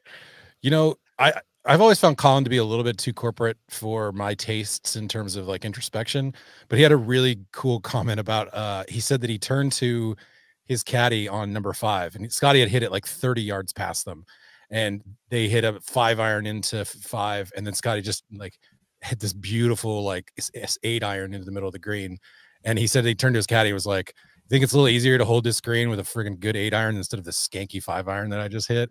He's like, that's just, he's like, I got to get something. I got to get better. Like, he, I think he really figured out, like, man, I do not have enough game to compete with Scottie when Scottie is good. And that's, he, it's like, I got to, maybe I got to do speed training. Maybe I got to do something. He's like, I used to think I was great from, I could get it anywhere in the fairway and I could trust my irons. And then I met a guy who's like 30 yards longer than me and just as good of an iron player. So, uh, going back to the drawing board in the Morikawa house. We've been shitting on Colin pretty pretty steadily the last last 36 hours or so, but like all the dog stuff and all that. I I, I give Colin credit. He was pretty self-effacing in his in his yeah, with the last shoes. Uh in his uh post round It was great. Amanda, he was Yeah. like, you know what? Like I got greedy. I was Yeah. forcing the issue at the wrong times. Um, but at the end of the day, like he hit some awful, awful drives. He, he missed so many putts low. Like it's He was fighting it. it's just like, all right, man, like I'm good. Like I like I felt like they should have offered him a buyout on like 14. Was Then, Scottie like, hey, to play alone then, or were the other players gotten to move back? Did your boy Yeah. Højgaard get a get a buyout after that first tee shot? what Just what like, "Oh, he come on, we're not we're not doing this, man. Why don't you no He's sixteen. tap, tap tap him on the shoulder? Just Mm-mm. hey, why- no, why- sir. Please, sir. That's pick enough. that thing up. Yeah, we're good here. KVV did uh did Scottie talk at all in his presser about the putter and making the switch to the mallet? Did, did that come up at all? Because I know you know obviously we we heard a bunch about that. Yeah. He didn't talk about the mallet, but you know what he did talk about is like working with Phil Kenyon. Like this is going to be in my story, but he walked right off of Much smaller guy than I realized. I- absolutely. And he, Big hug. he bear hugged Phil Kenyon and lifted him off his feet into the air. And I was like, wow, that's, that's so- humiliating. yeah, for a guy with a sore neck, that's a, an interesting like deadlift press right there. But I thought what was interesting about that is he said he it's when he was flying home from East Lake last year, he turned to his agent and said, you know what? I think I need to see a putting coach. And the agent was like, I think I agree. Like I was thinking of that too. And he was a little bit nervous about talking to his, his coach, Randy Smith, who had coached him since he was seven years old about everything. And he, he kind of was like, I, I would kind of like to see Phil Kenyon. And Randy was like, Yeah, that's great. Let's do it. He said, I, I really think that was a cool thing because he could have been like his ego could have been hurt. He could have been felt like, you know, I've been with you this whole time. Why do we need to change something? And Phil came in and he said he watched like for the way that Phil worked with other players, watched him like he was like Keegan Bradley's coach and Fi- uh, Matt Fitzpatrick's coach. And he said he works differently with every player, right? So he wasn't going to drill one style into me. He was going to fit something to what I wanted. And I think as much as we've sort of credit the mallet, I feel like the the posture stuff and the taking the line off the ball and just like being more athletic, all of that was what really kind of made him back to being a, a good putter again. Man, Kev, uh, we'll let you get out of here. I know you, you've got a lot of writing to do. Look for your piece either tonight or tomorrow morning. We'll see. Uh, we'll see how the how the hashtag process goes. But uh, Hey, by the way, will you remind Max to set his fucking lineup this week? I will try. Yeah. I feel like the commissioner needs to do that. I got a couple notes saying that the commissioner was a disgrace because he needs to have stepped in, set his lineup. But uh, I did ask Max a press uh, conference uh, question in the press conference. Said, "What will tomorrow like be like?" And he said, "You know what? I haven't had a drink in like forever, so I think I'm going to sit around and have like several." Which is a great, great Well walk off deserved. quote. Uh, here, here. Yeah. Uh, all right. Well, why don't you go get the commish, Sounds KVV, and uh, while while he heads out, Cody, I think maybe we had one more voicemail to play. Another, uh, maybe a retort to the first voicemail, even. Good evening, DJ. I'm calling from the greatest golf course in the world, Augusta. And this has been one of the most unpleasant days of my life. They're out here celebrating a man, Verne Lundquist, with a stomach out to here. I know that you called uh, your blog No Laying It Up, but you should change the name to No Laying Down. More sit ups, live longer. Congrats to Scottie Scheffler. The most courageous Texan since Harry S. Truman is one of my idols. Yes, sir. Good day. I, I will issue a correction on behalf of Mr. Player. I think Truman maybe was from Missouri. I, I, he might was have been gonna thinking of Lyndon Johnson or Can't believe he didn't go with LBJ there. Yeah. maybe maybe one of those one of those guys. K, yeah, I see. I see KVV still sheepishly walking out there. I know. I know that's not what you were looking like- for there. I, listen, I met Lyndon Johnson, but I just absolutely choked. I just there was people looking at me like, "What the frick are you doing here?" This stupid ass voice, and I I choked hard. All right. so well, apologies to Mr. Truman and Mr. Johnson. Uh, guys, I, while Sully's while Sully's heading back in, let's. What do you say? Should we hit a couple Twitter questions? We Please, you know, the commish always says he's going to take questions. He never takes questions. We, Yeah, we here for the please. people. We here for you. First of all, from our, our guy Grant Gates, what's Scottie going to do when he actually has perspective? TC. I mean, are we worried? Are we worried about that? We are for sure. Well, I mean, what if you know? What if they have twins or something like that, right? I mean, I, I could see Scottie and Meredith having like four or five kids, Just right? And just buku Yeah. perspective. yeah. So Uh, T- uh, Randy, this is from Colin Lamar. How many majors? uh, Again, going back to the to the Tiger comp. How many majors does Scottie need to win this year to make the Tiger comps justifiable? Uh, three. I think that's fair. That's exactly where my head was at. Like, like if we want to be real, real. Yeah. I think two of the four this year, and then he wins the Masters next year, o- or Yeah. yeah, or three. I think you know, uh, guys. I, I got a question here from from a couple couple listeners. Uh, what was thirsty Tom Kim doing there at, at the end? this is from Ball Knower. That's from Romper Butt Cheek sixty nine. I knew as soon. I- almost ruined the moment. As soon as as oh. soon as Scottie's walking off, he's waving Ted Scott up. We're come on, brother. We're gonna do this together.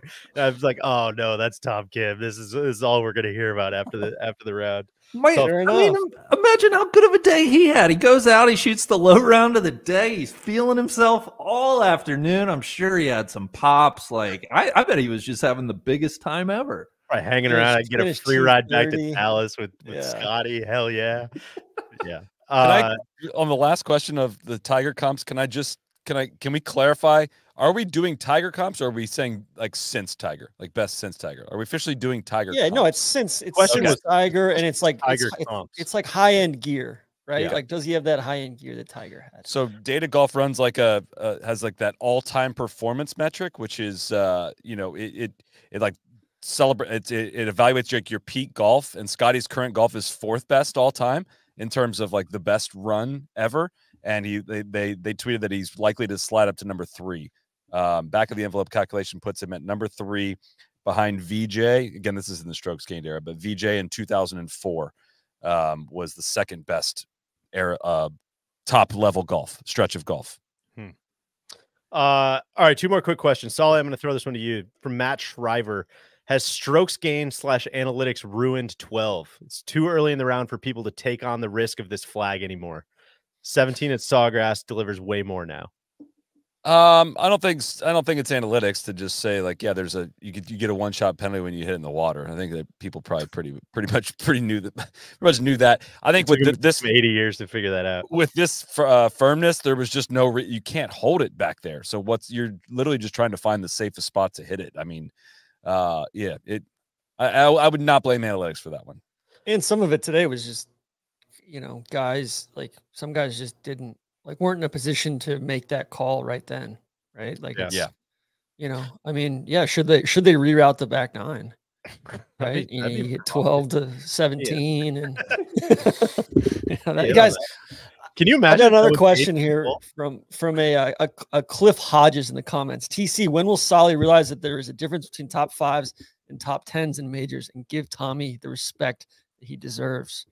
Hmm. It's a great, great question. This was Yeah. his fourth top five in the last nine majors. Feel me? Uh, gosh, that's just T- all right. I want one hour, 15 minute mark. I'm going to just jot, I'm going to have this forever. I want to see how, how we can apply that into TC's future takes. TC, I will. I, I'm ride for you. I thought Tommy had a great week. You know, I didn't ever think. 69. Stick that neck out, Deej. Get Yeah, out no, there. I did. I think him finishing third. I think is good. I that think- He's giraffing on us. Look at him. Exactly. I, I'm. I stand with TC on that one. I don't care. The, the issue him. is never like Tommy plays really well in majors. He does this a lot. Like Tommy's a he he he steps up when the golf gets harder. It's the issue is winning. TC, we we've seen this from Tommy. I'm really happy for him. I Randy, do back have me a- up here. I do have a problem with people calling this one a stolen valor yellow. Like he No, was. I wouldn't say that. That's more what I was getting at. I thought I thought it was a really nice week. Yeah. I, I wouldn't call that stolen valor. It was a completely like, you know, he was never in contention for the win. I told TC, Tommy reminds me of like that NBA team that wins 45 to 48 games a year, but simply doesn't have the the talent to actually contend for an NBA title. You know, they're they're they're good. They have a super high floor. They they they're well coached. They they play good basketball, but they just can't get the title. It kind of reminds me of, of of Coach Spo's teams of the last, you know, four to six. I think you're gonna piss. I think you're gonna piss Jordan off saying that. Jordan, you, you've got the keys. Feel free to come in at any time if you want to if you want to talk Coach Spo. It's heat culture. Is there is there Tommy Boy culture? There That- is. Is there? Oh, okay. Yeah. Yeah. I just- he won stuff too. I, I don't know. Maybe I'm misremembering. Listen, we're we're always we're always whale hunting, always finding the grinders, always finding the guys who are, you know, who are, who, who are sneak. Who's we? Are we talking about the Heat? Or are we Talking talking about about L Heat. Yeah. Yes, yes. If we're Low really heat. diving into L the Heat. heat comp, Oh, um, it's L Heat? It, it can it can be L Heat, yeah, yeah. Um, L Fleetwood, if you will. Um, yeah, little little hurt by that. I just don't want to accept reality. Uh, JP out. Thank you. Uh, all right, last question. Uh, we can just whip around here. Uh, This is I always love the single names on uh, on on Twitter X, the, the website formerly known as Twitter. This is from Gomers. Uh, what's the worst hole at Augusta? Just a little fly around here. In, in its current iteration or, or yeah, right right now. right now? Randy, where you going? I I think it's 11 for me. Hmm, Mm. it's interesting. I'm gonna say I'm gonna totally TC this one and say I, I think it's seven, but I also think maybe seven was my favorite hole of the day. So like I think it's the worst hole on the course, but it might have been the best hole of the day today with that pin. With a good hole location, seven can be sweet, but Yeah. like overall as a whole, it's pr- it's got to be the weakest. That It- that's a cool hole location, but the other ones on that green aren't aren't as cool. it. Oh, Uh, what it- am I saying? Fuck, 16. I didn't. I, I blacked out. 16's the worst hole. I'm sorry. Did you get any? Was there any movement, or did you feel any momentum, any any sea change in maybe the the, the small group that's pushing to have the bunker put in the The middle of that bunker? green? No, we, we are looking for more voices. We We- we, we, we need to sign More one of those online petitions. Yeah. they do take suggestions here. I, I can I can drop We one. get before a I leave. change.org going, Randy. yeah, that's it. That's it. I think they should move it back across the the, the uh, creek, like drain the pond, put the creek back in, bring the fawns in. That's his specialty. I, I think I- that'd be great. I will say uh, again. Or you should have to skip it, but continue. One Super of hot four days you need to skip it. Choose your So day. you get to Sunday and you whole haven't location. skipped it, yeah. the the best spots that are really are like 11 12 and 15 16 just the proximity of those holes like when the action gets good but when it comes down to two groups the final two groups like it was today like watching uh you know max uh, uh you know waiting on tw- like for groups to tee off on 12 to hit a shot onto 11 like the proximity of all that the un- you cannot avoid like the stuff that's happening and the flashing of scores up on the on this leaderboard as it happens that that is very very very cool I, i'm i'm i'm in on that I, I thought one of my favorite things I, I saw all week was the uh, Garrett from the Fried Egg made a, a thing about like why the roars work the way they do at Augusta and the way it's routed, how how often you come back to the middle of that property Yeah. and how many intersection points there are. It was uh, look that up on the, the Fried Egg Instagram. It was an awesome. So Awesome. cool there with like you know seven, two, all that stuff right in there as well. Eight T, uh, all that. I would say for me, it's it's four right now. Mm. I think four is pretty It's, joyless. Yeah. That's kind of a, a speed bump. It's I- just not I- very fun. I know I'm supposed to enjoy five. I don't. Um, I just don't love that green shape for that long and hard of a hole. Like the, the the slopes and bunkers just don't make a ton of sense to me. It it's that I'm just gonna throw that out there. I don't know if that's the least my least favorite or the worst hole, but it's it's just doesn't really work for me. Uh, all right, I, I've I've got an idea. We're we're gonna go to the the vaunted five box just for a time. You know, I know it gets chaotic when we go to the five box, but we've got a guy in the pen. He came Oh, in jeez. Thursday. Uh, Oh, you know, he had Friday actually, and, and he just had the performance of the week. Did we send him back to AAA? No, oh, did he he clear did. waivers? Como What- on, mis amigos? We sent him back to extended spring training, How pitching How simulated are we? games. good good to see you. Neil, We're great, Neil. Great to see you, my man. What what was your biggest takeaway today before we really get into the main event? Uh God, Scottie's a Terminator. Um, and uh, I've felt uh, like his swing's always been fascinating to me. Uh, not an exciting, not getting a lot of fist pumps, not a lot of juice, but uh, it's really nice to have the uh, the the the pace car, man. Like we're it's kind of back to like, all right, we have the we have the benchmark. Can you, you know, it's just kind of the consistent line.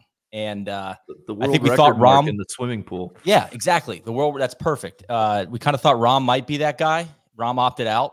You know, Cougar. Cougar was number Lost the one.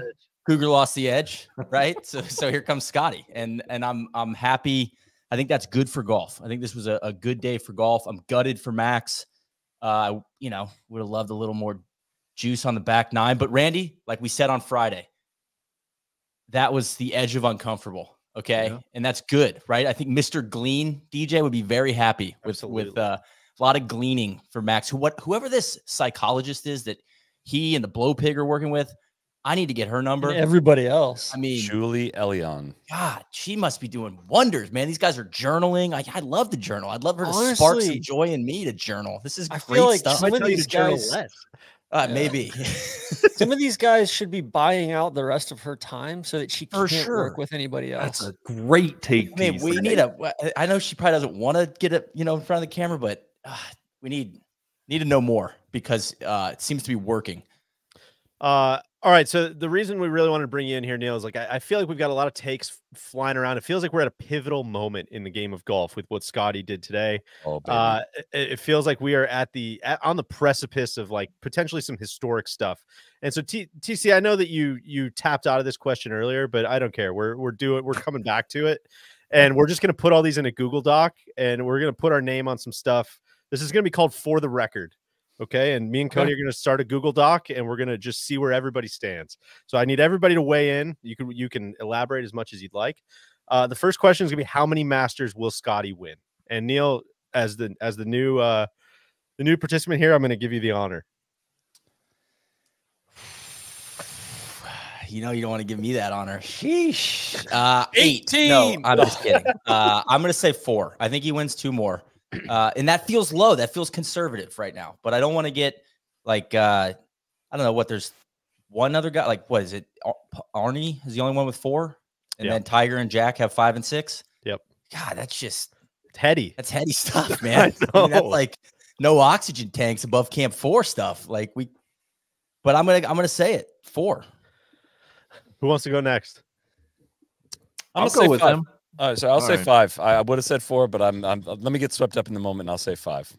So I'll I'm say going there with you, man. I think I'm, if I'm throwing all these Tiger comps, I think that's going to be the spot where he catches Tiger. I, th- I think he I think he gets to five. I'll say four. Somebody Randy, say two. say Do it. two. Do it. Double down. No, no, no. I, I, I like four. I was I gonna like get four. cute and say three, but I can't do it. And like even like his scripting today, the peach just worked. Worked with the green great. jacket. It was, it was, it was soft and and thoughtful, but you know, still still topical. Uh, TC, I, am going to throw the next one to you. This was, of course, Ludvig's first major. Uh, he is what I believe 24 years old. Let's just do it now. How, how many majors for Ludvig? Uh, at least six. Wow. So that could be anywhere all the way up to 20. Yeah, totally. Could be up to. I mean, why limit it at twenty? At least six. That's lot. so freaking many. How is I'm gonna- Morikawa going to get to eight? Uh, DC? don't- don't God, jump we in. no, no. We that's that's, That's like We're giving him a on chance to record. fly out we, of that we one. called in serve pro. I'm, gonna-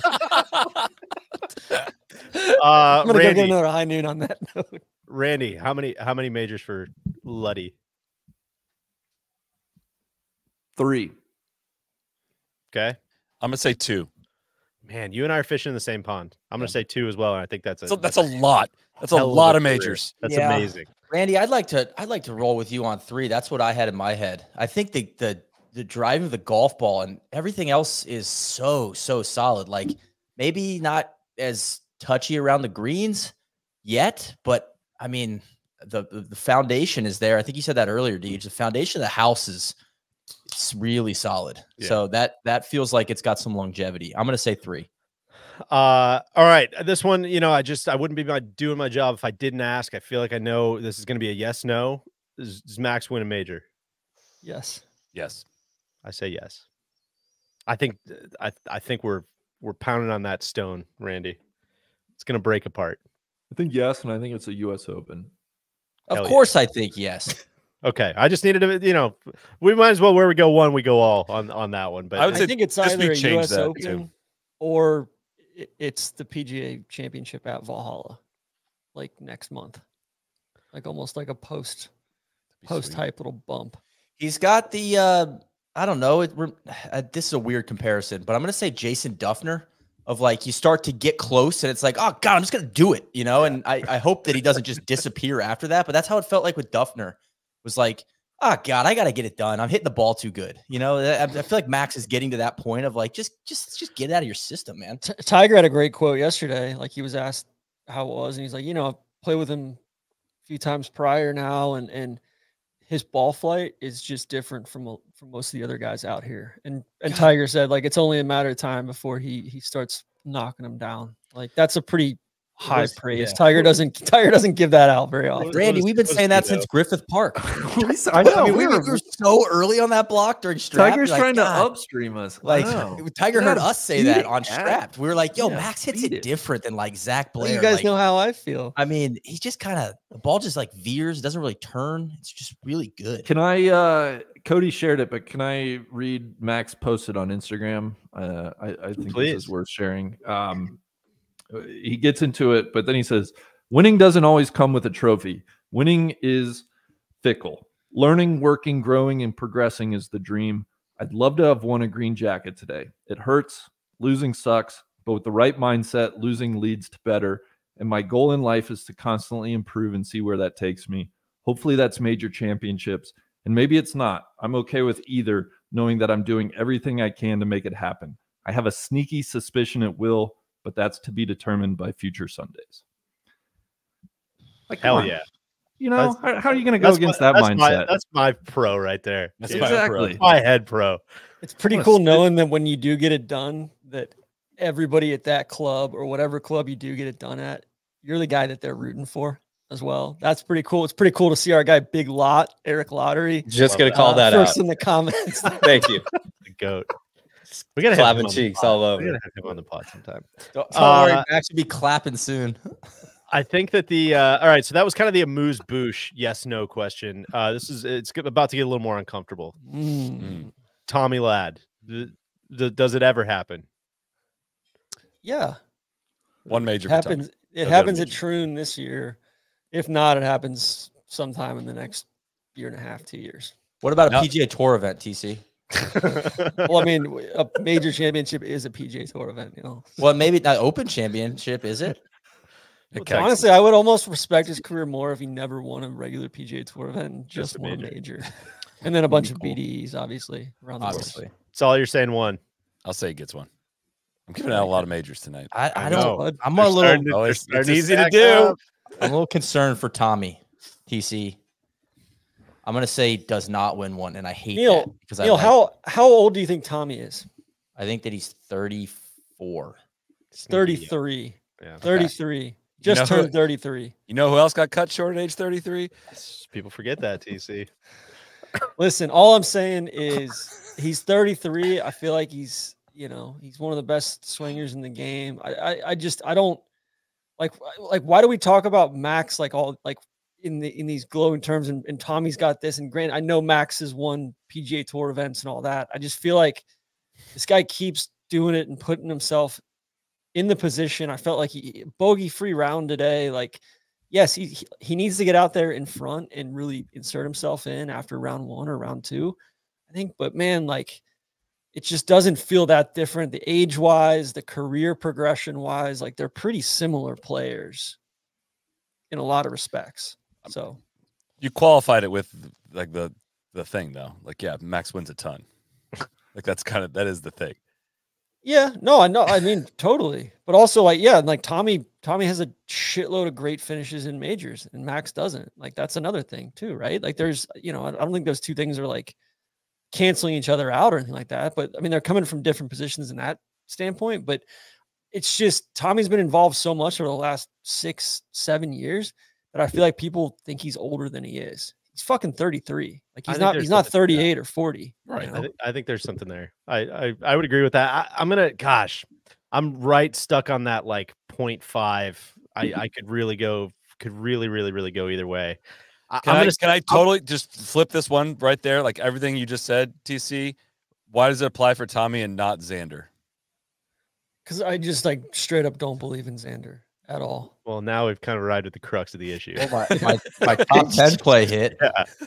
Yeah. A tax refund. I think Randy, Xander's you- gonna win. Yeah, I think Xander's gonna win one more than Tommy. I don't. I don't think Tommy gets one. Not everybody wins a major. I, I don't think he's. I just worry it. a little bit about Tommy's putting, TC. I mean, I, I agree with you. He hits the he, he I love watching him hit the ball. I, I His really putting like stats Tommy. aren't that just- bad. Like I know it just looks it just doesn't look good though. That's a problem for me. It doesn't For pass all my his eye good test. finishes. TC, help help me out because I'm not looking at like his Wikipedia or anything. Wh- When has he truly like been in the the cauldron? I, I know he's got lots of top tens, good major finishes. but- Shinnecock, right? With 63 on Sunday, but he was kind yeah, of but even that was like coming not from really in behind. it. And That's that's like what I'm saying is like he needs to statement get off to better I starts. guess British Open last year. British Open last year. Yeah, he wasn't really in. Yeah, but even then, he wasn't in it by the time Saturday at 4 p.m. By the time around. TC by the left. time I was on the By the time I fucking boarded flight an to international Germany. flight. I'm gonna say, I'm gonna say, I'm gonna say he gets a weird, sloppy, messed up Open Championship. That's that's kind of a All cop I'm saying too I- is, uh, I all right, agree guys, with the sentiment.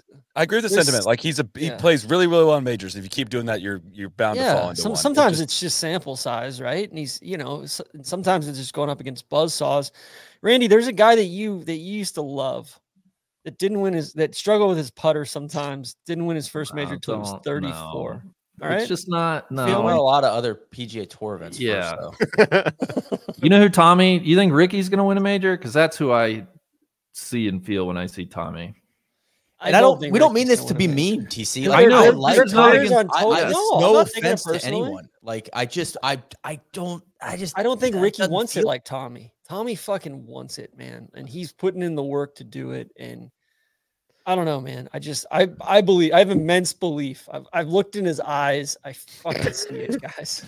All right, I'm gonna go TC. I'm gonna, w- w- like we said, we're gonna kind of let you buy out of the Collins gonna win eight here. We're gonna reset. We're gonna reset the table. Okay, so we have like Keep a, that calendar invite though, Yeah, Solly. I Don't, have a- don't let him get rid of that. I You got a legitimately did see that plan? calendar.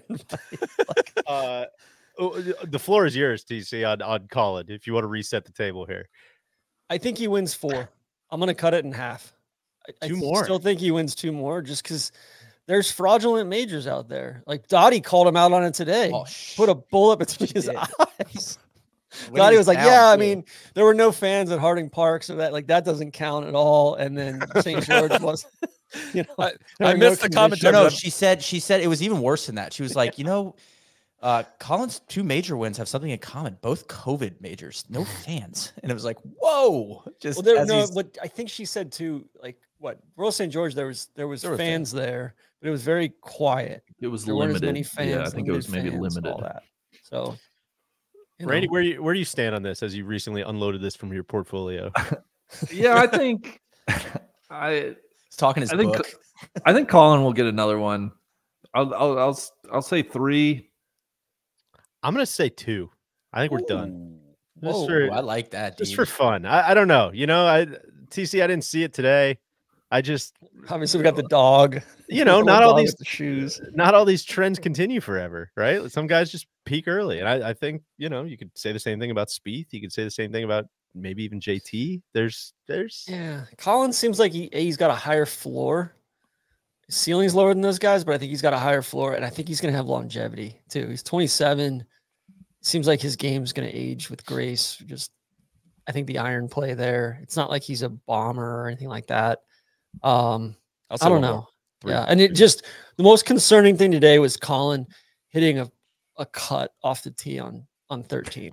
That that's generous to call that a cut. He hit Like, a, be a hit- fucking- was be an adult. all day. It was very poofy. The uh, a few F fifteen balls in play wasn't wasn't Not wasn't not good. what we're about. Uh, all right, last one I had. Well, I'll uh, go. I I oh, gotta. sorry, sorry, gotta- sorry. Yeah, Uh, I'm gonna say three. I think because of the age and because of the experience, like I, I seems to be finding something. He's he's got game. I feel like he could win another PGA for sure. You know, just a like a dart fest. I feel like we need to have Scottie something wins them all. where we Yeah. give out like every major from now, like through the next 25 years, or or or maybe through the next 15 years. We just give out these majors, and, and you can have a question mark next to them, but we kind of ascribe certain majors, and it's like there's like a running. Yeah, you got to fill out if he if he's gonna win that one, then that means someone else has to come off. I'm, Yeah, That means Ludvig isn't winning finite the- kind of what I'm starting to try to build I build said here. six. I said six or more, Neil. Okay. So why not twenty though? Between, Why not 30? 20, Yeah. uh, anyone else on Colin? You guys all weigh in on that one already? All in. Uh, all right, just- last. oh, Can I just, you know, Collins played 17 majors. He's got eight top tens, six top fives, and two wins. Like, I, That's I think, Great record. Pretty good. yeah, it like he's he's good. But but the dog with the shoes. But the dog with But the, the little dog shoes. with the the shoes. little dog with shoes. Yeah. Uh, all right, last one. The main event. Does Rory ever win the Masters? Fuck no. Wow. Wow. I'm no. Wow. Yeah. I'm no. I've been no for years. All right, God, save these clips. I'm a I think yes. he does. I think there's going to be a rainy year, and he's going to come in, and uh, by the time everybody's completely written him off, yes. and he's going to take it personally. But man, it was so disappointing to see him play the most artless golf this week. It was Just- disappointing. It's just artless, and and there's no. There's no artistry. There's no touch. There's no. There's no joie de vivre in it. It's just, you know, trying to brutalize the golf course, basically. That's an interesting take. I kind of want to go back now and look at like some of his early, early stuff. Like there must have been artistry at some point with Rory, right? Like I don't think it was always like Force. force it and hit it high and drop it in. It, maybe it was, but like, I, what I was kind of thinking is almost like, is there is there almost like an aging Rory who has to find the fadeaway jumper, and and starts to embrace some of that stuff? I don't know, or does it, is it more of like a not saying Faldo wasn't like that, but like is it more of a Faldo like you hit a point where it's like, ah, I'm good, man. I'm, I'm What's uh what I'm Rory's 34? something that sounds right? Okay. So older than Tommy. he's We're in 10, we're 10 years without him winning a major. for So sure. Rory- I Rory was that. the That's the better question. Of like a different generation. Like Is, is he going to win any major? Uh, Is Rory beating up on plumbers and firemen? I I think ways? this week, like, yeah, it looked really bad. I think it all. I said it on Friday. I think it all stems from just really bad off the tee, and that's just if, if Roy just isn't isn't good. and He's not gonna play good with that. Like it all stems from his driver, which is tough. That's not that's not a good thing, and that's you know I'm kind of making the case against him a little bit, but I think this year was a bit of an outlier. I think he wins one. I, agree. think he wins the think- Masters. I think he wins the master. On the record, put it put it down, Cody. I think he wins the fucking Masters. He turns 35 next month. So, guys, I got one more to add. Well, hold Don't on. I'll. I'll ugh, God, I'm right on the edge on this one too. I'm gonna Just say ran a poll on uh, YouTube, by the way. DJ, giving you a little bit of time here. Seventy-one percent no, and we're Wow. we're looking at quite a few votes here. Which is what we need. feeling Rory needs a chip Yeah. on his shoulder. That's in that case, exactly I'll what say, we in need. that case, I'll say yes. For that reason, I'll say But yes. Co- Neil, what's he waiting for? Like, what, what kind Uh, of chip does he not need? chip. The chip's not big enough yet. Yeah. No, Oh, I think for holding. uh, I don't know. He's got to yeah, he's got to get out of his own way. But listen, I can't. He's on his own journey, Randy. Okay, I can't. I can't. Neil, Neil, do you want to race for apologize for the block party? Are we going to keep doing that charade every year? Every Jeez. major. See, God, the uh, no fun neighbor down the street. Oh, we're gonna do that, guys? Huh? We're not gonna. You're not gonna pay. y- What about the HOA, guys? Huh? We They're actually cool. got a new Can't process. your- Yeah, we're can't gonna paint need you to get a door that color. Can we can we go back and just, just shout out 2019 Portrush Randy for for the uh for, for the call of killing of killing Rory? I know. That looks pretty you. prescient right now. One of the I- one of the best ever. I think a better question is does Rory win another major? I do too. And I don't I'm not prepared to answer that tonight. I'm gonna need, need some time with that one. Okay. I think Uh, yes, yes, yes. I He wins another Masters, and yes, he wins another major beyond the Masters. I think. TC, what was the other one you wanted to add? I wanted to say, does is there a world in which the cat wins another major? No. No. No. Yeah, actually, my father-in-law today, I was watching a little bit with him. He was like, "Yeah, you're gonna have to redo that that Tiger take about him winning another major." Because I told him that like two weeks ago. He's like, "What do you think?" I was like, "Oh, well, he gets around Augusta really well. Like, he could probably steal another one." Nah, nah. He was like clowning me for that. He's like, "Look, he's in last place, man. he doesn't even watch golf." He's like, "Guy stinks." I'm like, "Yeah." Wait, Neil, don't you also- do for a guys. I dis- This I disagree. He's like, "Whoa, what was that thing you said about Tiger winning another major? He's in last." It's like, damn, Baby I brain. dis- I disagree. I think he, uh, you know, granted, didn't weekend didn't go like he planned. He wanted to. Doesn't seem like the the uh, fused ankles degenerative anymore. Like I feel like it's not going to get any worse than it has. This is a big walk. I don't think it's going to be another Masters, but I think I think at some point he he contends in and wins a British Open. I think. Just don't think uh, the weather's gonna can we- cooperate. Like bad. For the everybody, ball. everybody, pause. Let's just pause. Let's go back to the first 30 minutes of this episode. Let's remember the era we're in. Uh, I Tiger's totally- not beating, I- fu- Tiger's fucking not beating Scottie in Solly, a I, major. I totally get that, but also like I think he gonna win one in sometimes his 50s? if you get one where you get Bill did. yeah, I mean fucking Tom Watson. You look at like Jose Maria Olazabal almost quit the game before his second Masters, and he he made the cut this week and beat uh who did he beat this week? They, tho- all of them combined have zero fused body parts. Tiger has like is I totally get it, but also like Tiger's the greatest golfer to ever live. Like I think there's some there's some guile and some some something there. I mean, Jose Maria Olazabal tied with Brooks Koepka, the reigning PGA champ, Sahith and T- Jon Rahm. this you're, you're falling apart here. You Yeah, just took a Jose Maria beat Johnson. Tiger this week. That that's No, I, I I get that, but I just think I, I think Tiger can build up to stuff. I think he's he's adjusting to this new body that he's got. I think at some point in the next five to ten years, Tiger. I'm not saying he's going to compete at majors consistently. I'm saying at some point down the line, he will contend and I think win a British Open that is firm, fast, dried out like Hoylake or if they go back to Lytham or something like that.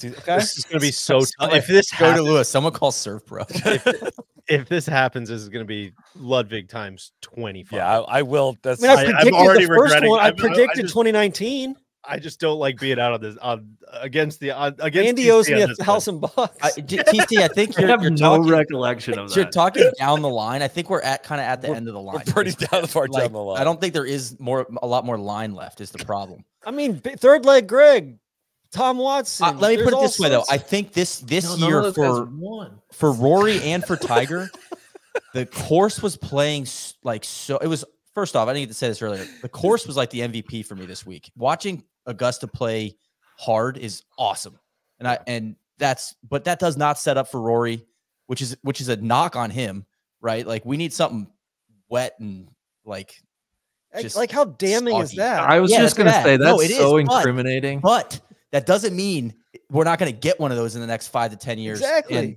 so I don't think Tiger's going to win that one. I think Rory's going to win that one. All right. Well, this was Ti- this was no Tiger. The last thing Tiger needs is is a soft, wet one. I'm saying Tiger needs perfect conditions of the British Open, but let's say at the old course in, you know, ten years or something like that, or nine Ten years. years, like, TC. I don't think he's playing in ten years. That's the thing. I think he's he's he's just going to I be like, think nah, I'm good. Uh, I don't. I don't think he has anything else, Neil. He's got Charlie. He's got his kids. He's got Charlie's career, and he's got he's got we- his he's his competitive Guys, fire. And we know just- anyway, the, the blockbuster movie industry is falling apart too. We Out that. outside of this tournament, TC, I, I could ride with you a little bit there. Outside of this tournament, he's gonna run out of of of entries. He's not. This is this just isn't gonna happen.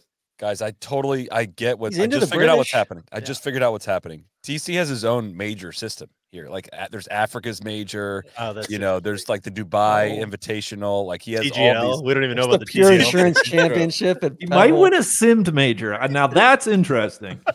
Trophy Hassan too. Like that. That is the way this starts. To, these numbers start to add up. All right. This, Can I- this was this was productive. I think. Oh, sorry. Go ahead. Just really quick, uh, our uh, our pro golf fantasy draft that me, Neil, and, and TC did. Um, TC lets Scottie Scheffler go by with the first pick, and there's eight I points feel- available. I feel okay about it, man. I'm taking the long view. I will don't say you think each you each got two points this week for uh, top fives for guys that you drafted. Um, uh, TC had uh, Ludvig Aberg and uh, Tommy Fleetwood, and Neil had Colin Morikawa and Max Homa. So you each got two points, and I got eight for Scottie winning. I'm leading twelve to two to two uh, so far in our six year draft. Hell yeah. wait, Uh, wait. I, all right. So how many points did you get for players? Uh, I got two points for players, right? And then you got how many for Masters? Six. Eight. You got eight for the Masters. You get eight for a major win. Correct. That's a lot. We went, yeah, we went through. We're going to take any any further points auditing offline. Uh, Neil, thank you for hopping in. Let you go. Get back to uh, I don't know what uh, bedtime. Kids got to be in No, bed, bed already. Wake up. I'll have to strap him into the carrier and walk around the neighborhood for a little bit. So, peace. God, Godspeed. Thanks for It's a popping in. marsupial. See ya. All right, guys, let's uh let's get into some of our final segments. We're gonna land the plane here. Uh first things first, we're gonna get to our Serve Pro mulligan. I feel like over the next couple years, we're gonna have a, a couple more things to clean up from the last 10 minutes of the show there. But uh in golf, when bad shots happen, there's a mulligan ball. When fire, water, or other damage happens, there is Serve Pro. Thankfully, the pros at Serve Pro know how to make any mess both on and off the course. Solly, like it never even happened. Of course. Uh, thank you to Serve Pro for our new segment, The Mulligan. Uh, Serve Pro, the number one choice in cleanup and restoration, and they do construction too, Randy. In case you're, you know, doing any construction around the neighborhood, Serve Pro has 50 years of experience helping people recover from disasters. Serve Pro is here to help 24 7. Just call 1 800 Serve Pro. They specialize in cleaning and restoration due to floods, storms, fires, mold, and more. I would love to know what else is in the and more. There's got to be some other some other crazy circumstances they found, I'm sure. Serve Pro, number one choice in cleanup and restoration. Like my Uh, Morikawa thing. I think I have asbestos. exactly right. It's just it's taken over the whole house. and then some birds got in and they then they dragged it all over the place.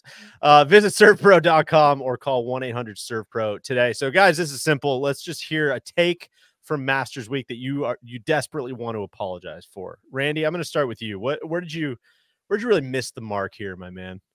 I got too cute pre pre Masters. I, I wanted to take Hideki. You know, I was trying to zig. Everybody's taking Scottie. I, you know, like, what are you doing? I, I got to be better than that. Hideki didn't show anything. Should have taken Scottie. That's that's big of you to admit. Solly, Uh, I I regret that um, when I when I called this in, I used an old timey reporter voice, and it sounded like I was joking when I really wasn't. When I said uh, after Scottie birdied the second hole on Thursday that he was going to win by four, uh, I, I wish I didn't do that in a funny voice because uh, that's literally I think I I said uh, I wrote down if I could bet Scottie to win by four or more, I would do it right now. Um, no, I'm, I'm joking. That's not a mulligan. Uh, I I Corey Conners I fell in love with, and Russell Henley. I don't really know where I was going with that. Uh, they didn't really know where they were going. Zalatoris was going to be in this bunch, being a nice round today to uh, end up with a, a non-competitive wiki yellow. Also, I said Cantlay was going to go get that yellow. He he finished the last Yeah, four that was holes three over. That that was a good play. I don't regret that one, but I, that was. no, I'll yeah. apologize. No, I think that was a great play. I'll I- apologize. I, am pissed off at, at, at No Hat Pat. I'm mad as hell. Uh, Solly, I'm kind of I'm kind of with you on on some of the Scottie stuff. I believe if it, maybe it was the uh, Bay Hill uh, podcast, I would I would encourage everybody to go down, catch the last four seconds of audio there when I scream Scottie's going to win the Players and the Masters, and then I just Cody, you got me all whipped up last night with Max's presser, and I backed off my take. I did not trust my process. It was like getting to 13 and and hitting a three wood instead of just you know really like sticking to my game plan. Uh, That metaphor didn't make any sense. Uh, but I, I should have stuck with the Scottie thing last night. I've been on it for weeks and weeks and weeks, and I just I chickened out. And I would also TC. uh, I'll jump on the Eckroat grenade. I don't know why I was so high on Austin Eckroat. Probably because you really good. you got me all really good. frothed up about that one. Like, oh, this guy's gonna he could be a contender this week, and he just completely filled his pants. So I, I would like to apologize for that one too. Tron, what what do you got? I hope I didn't. Yeah. No, I I'm, I'm gonna call them uh we we culpas instead of instead of mea culpas, right? Because little guys. you know everybody. No, no, I'm saying it's a it's a team Oh, effort. I right? oh, You know, you guys are responsible WEE. here as well. Yeah, kind of you know taking after Ludvig was saying a lot of we afterwards today, trying to trying to bring that into my own life. First of all, I want to apologize for for Sahith. Um, T45, that's not going to get it done. 74, 74, 75. Like that sucks. That sucks. Didn't make a lot of birdies. Just yeah, I don't know. Um, I got to go back to the well on that one a little bit. Uh, I got to put my put my cleeks hat on and just apologize for Adrian Meronk. Yeah. Uh, bad, really, really bad. And uh, somebody came up with a an idea that possibly the live teams, if your captain has an exemption, like you should be able to pass that around your team. So I think Blandy should should be able to get into the Masters next That's year. That's a sick block. I like Right? that. Yeah, that's interesting. Um, yeah, so I got that. And then uh lastly, I want to apologize for saying that Scottie winning would be the worst thing to happen to golf. so anyway, I have to check the record. You might have apologized for that already. I think I may. He's really sorry. Honestly, does deserve two apologies. So, uh, th- thank you to Serve Pro. That is the the Mulligan segment. Serve Pro, the number one choice in cleanup and restoration. ServePro.com. One eight hundred Serve Pro. Uh, guys, where should we go next? We can go to we can got our coldest moment segment. We can go back to the the go back and watch this shot. TC, should we do that? We had a, we had a couple of shots that we dredged up. Of course, the Masters website is great for actually posting every shot of the week. You can go back and click into people's scorecards and and look. And if you were not paying like psychotically close attention to this tournament, you probably missed some stuff. Uh, so Randy, I'm going to throw it to you first. A couple shots that I know you wanted to shout out. Yeah, where else to start but my guy Ryan Fox? I believe Oh, this was Foxy. round two. Uh, his approach shot into 11 was so grimy and uh, not not quite the result he needed. It wasn't good, but it was gross. Oh no, it was fabulous. It was fabulous. I, I challenge everybody to go back and watch it. Watch the trajectory. It just land. It, it just is too hot, and it rolls through the green over the back of eleven. But it, it was probably the best shot shape I saw all week. Trajectory. Foxy rules. Yeah. I I think I'm I'm going to declare TC. You you urged me in a in a private message this week. Hey, I think you need to be a Foxy guy. He's about everything that we like. You know, he he's supposed to be the He's best a guy. sportsman. best guy Everybody, in I've the never heard a bad word about him. Everybody's you like, know he's what? I this think top I'm- bloke. I'm gonna be. This I'm gonna guy's be a four Foxy under guy. and he's going pin hunting with like Yeah. a little low stinger into 11 on Friday. Consider so me sick. officially Team Foxy. I don't care if that pisses Sully off or not. I know Sully hates Foxy. Don't do this. Don't do Uh, this. all right, Don't- Randy, what- not what- you. Not, not you, bloke. Deej. What, what's your second one? Uh, my second one, we don't have to spend much time. I, I thought Nicholas Højgaard's uh, tee shot into six yesterday. Oh, Um, one of the better ones I saw. That that pin on the back left shelf, damn near made it. I it did not make the birdie putt, so that's even more fun. But just uh, the unstable compound, and I thought that was probably one of his better shots all week. Højgaard's like Jamarcus Russell. Like he's got these these traits, these tools that you just can't teach. You just you gotta we gotta fill in some of the some of the gaps and work on some of the fundamentals. I think. I think that's right. all right, Randall, bring us home. Last one. Uh, Mickelson, TC, big props to you and Geoff Shackelford for calling this one out. Uh, Mickelson on 9T yesterday, uh, intentionally driving it to one fairway. I think Shackelford said, you know, maybe it gives you like a slightly, slightly better angle into nine. He's like a perfect play for somebody bored on the weekend. And uh, I thought that was just a perfect encapsulation of it. Well, well Yet said. another uh, nobody Yeah. Phil move. That's Yes. exactly right. Uh, all right, TC, what stood out to you? Yeah, I got uh I got Hovland's round two performance on number two. Oh. Hit it, hit it in the over in the Hertz counter. This is you know while the while the OJ news is is very fresh. I thought it was an awesome, awesome uh tribute there. And then uh like off the tee, he's just like very like holy shit. like just like Jesus, like that was so far left. And then the very next shot, he he just just punching out after he takes an unplayable and Punches the into the guys just shattered. And it's you know, I felt bad, but I got full confidence that my guy Vic, I think, you know, I think he's going through it right now, but I have full confidence that he is going to reemerge stronger than ever and he's going to start picking some of these things off and challenging Scottie for some of this stuff. So, like, I man, my dream is like Vic and Ludvig going at it in a battle royale. That'd be fucking awesome. That would be So, great. Next up, uh, I got Ludvig round one, second shot into 14.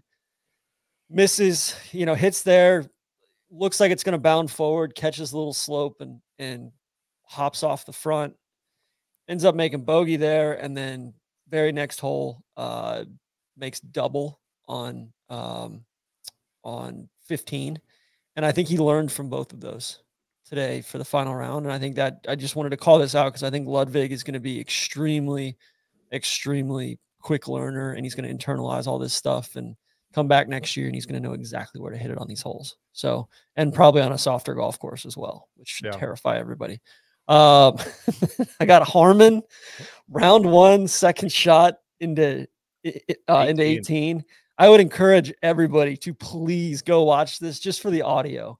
I, I don't think I've heard a ball hit a tree that squarely in a long time. It was really, really, really impressive.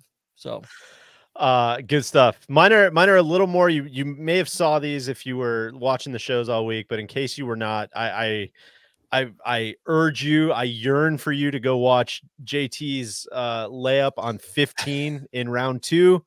Uh, he was behind the trees, left, could not get to the green, and was just laying up and hit this like weird snap hook layup shot that again saw like kind of a no one JT situation, like just hit a wedge over the Like trees. Arnold Palmer just- finished to it. It's like Yeah. this is not nobody's asking for this. thing probably snapped like a hundred feet left or more like just crazy shape on this layup shot and it runs all the way through into the water just un- un- that was kind of the the the highlight or tc as as you said there was maybe many highlights of his last oh, six yeah. holes five holes I would say go go watch all of that. Like that that last four holes, I've watched it like 10 times.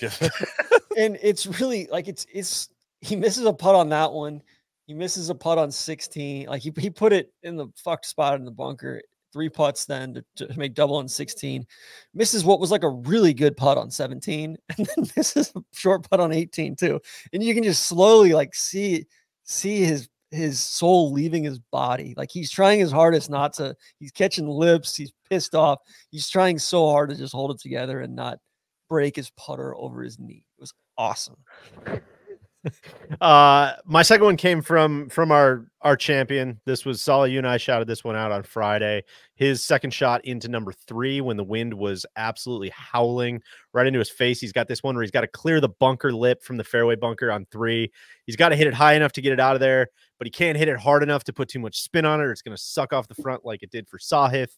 And he just hits like it, again. It, it looks kind of boring maybe unless you're thinking about all the factors that go into it but the way like how easy he makes this shot look from like 90 yards is why he won the tournament by four. He's he's so freaking good at stuff like this.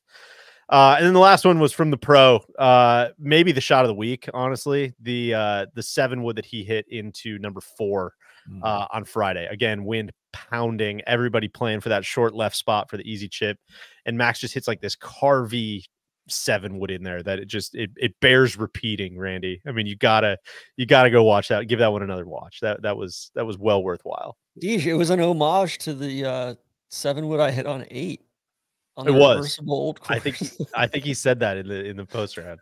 I, I agree. Uh, all right, guys, couple more things to get to. We've got our Yeti coldest moment of the week. Comes to speaking of Scotland, TC uh, Yeti. We did it. Just did a big project for them uh, in Scotland. We're gonna have some really really good video stuff coming out later this year uh, from playing the old course in reverse. That was all made possible thanks to our friends at Yeti.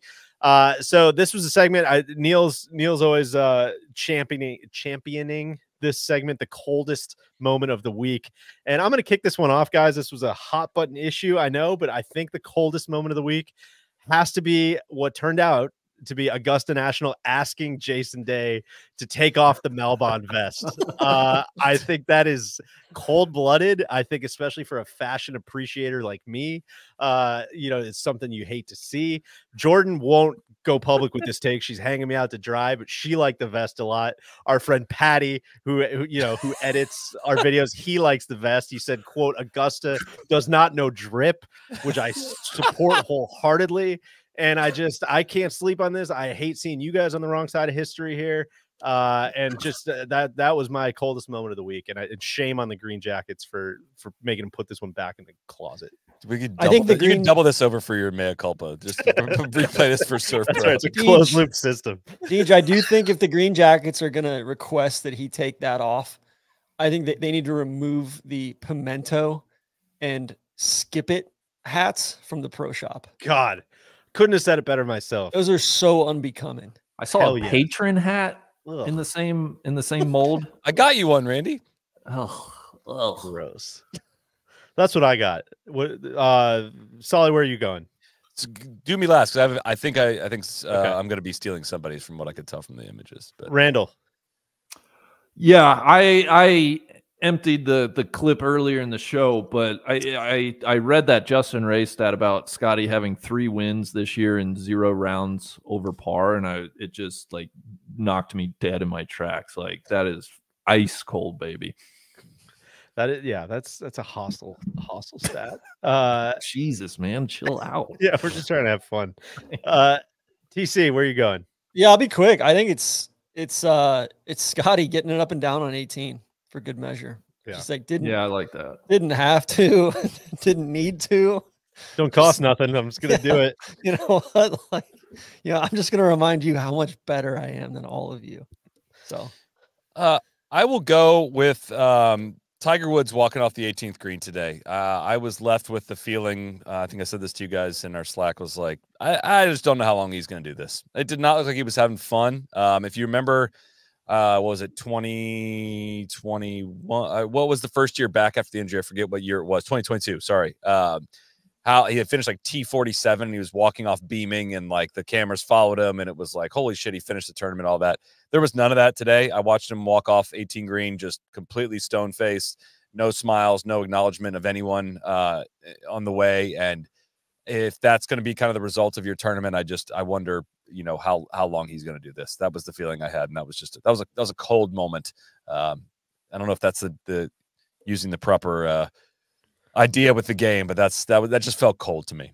So it's a loosely defined game. I think that's You I can think make it truly fine. anything. Yeah, I think that's right. Shout out to our friends at Yeti. Thank you again for for all the support. I, I I'm just gonna shout out the the Yeti uh yonder bottle. It's like the perfect golf golf bag bottle. light. So it is Yeah. very light and it's just it's good stuff. Uh got mine right here, dude. you feel me? Uh a couple a couple quick news and notes. Uh Saul, you mentioned the um Tiger, you know, just kind of experience. There was a, a weird thing. I, I don't know if we got to the bottom of this at all, but the the exchange between him and Neil Shipley, TC. Did you did you see any of this? Did you see What are your sources saying, TC? Yeah. I did. I've, I've reached out to some of my sources. We're trying to it was very very weird uh, interaction. I'm- I think it was on four or five, uh, and then Eight, you know, I believe, guess- actually. Or on, oh, eight. Okay, and then yeah, like Tiger wrote something down and then handed a note to Shipley, allegedly. Um, you know, which was refuted by Shipley. He was asked about it after the round.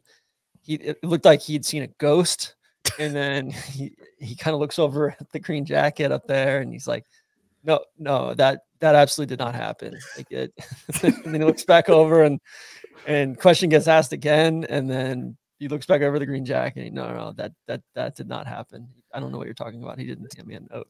Did anyone anybody actually see this? Is there video of it, or it was like just a reporter going rogue asking? Like, was, was was a there a confused reporter? It it may have been the reporter. I believe, like he, I'm paraphrasing, but he said like, "Hey, I, I watched on eight. Like Tiger wrote something down and then handed it to you. Like, what what was that all about?" And then he kind of gave that look that Cody just put on the screen to to the the green jacket that was running the press conference and goes, "Uh, no, that that didn't happen. No, I don't know what you're talking about." He goes, "Really? Like I saw him hand you something." He's like, "No, that didn't happen." So listen, maybe something, probably almost positively nothing, but just a funny, uh, funny exchange. That Uh, Shipley face is like when the edibles hit. Uh yeah speaking of when the edibles hit just a lot of fun uh there was a lot of fun memes going around about our next topic which is which is the vern goodbye. There was like the sweetest photo ever of, of the the hand coming out of the tree. Uh you know vern was camped out behind 16 behind 16 uh you know waiting to say goodbye to uh to tiger as he as he finished his round very very very sweet moment but of course the internet had all kinds of photos of Tiger shaking hands with this tree, and there was like me when I recycle, and you know, all, all kinds of like all kinds of funny stuff. But uh, uh, TC, I know Vern's your guy. How how are you feeling today? How was the how was the send off? Uh, they didn't give him much to work with. You know, he didn't really. It was kind of a. you know, not a lot happened on 16 there. Things were kind of done and dusted. Little audio issue there when he was kind of saying his last words.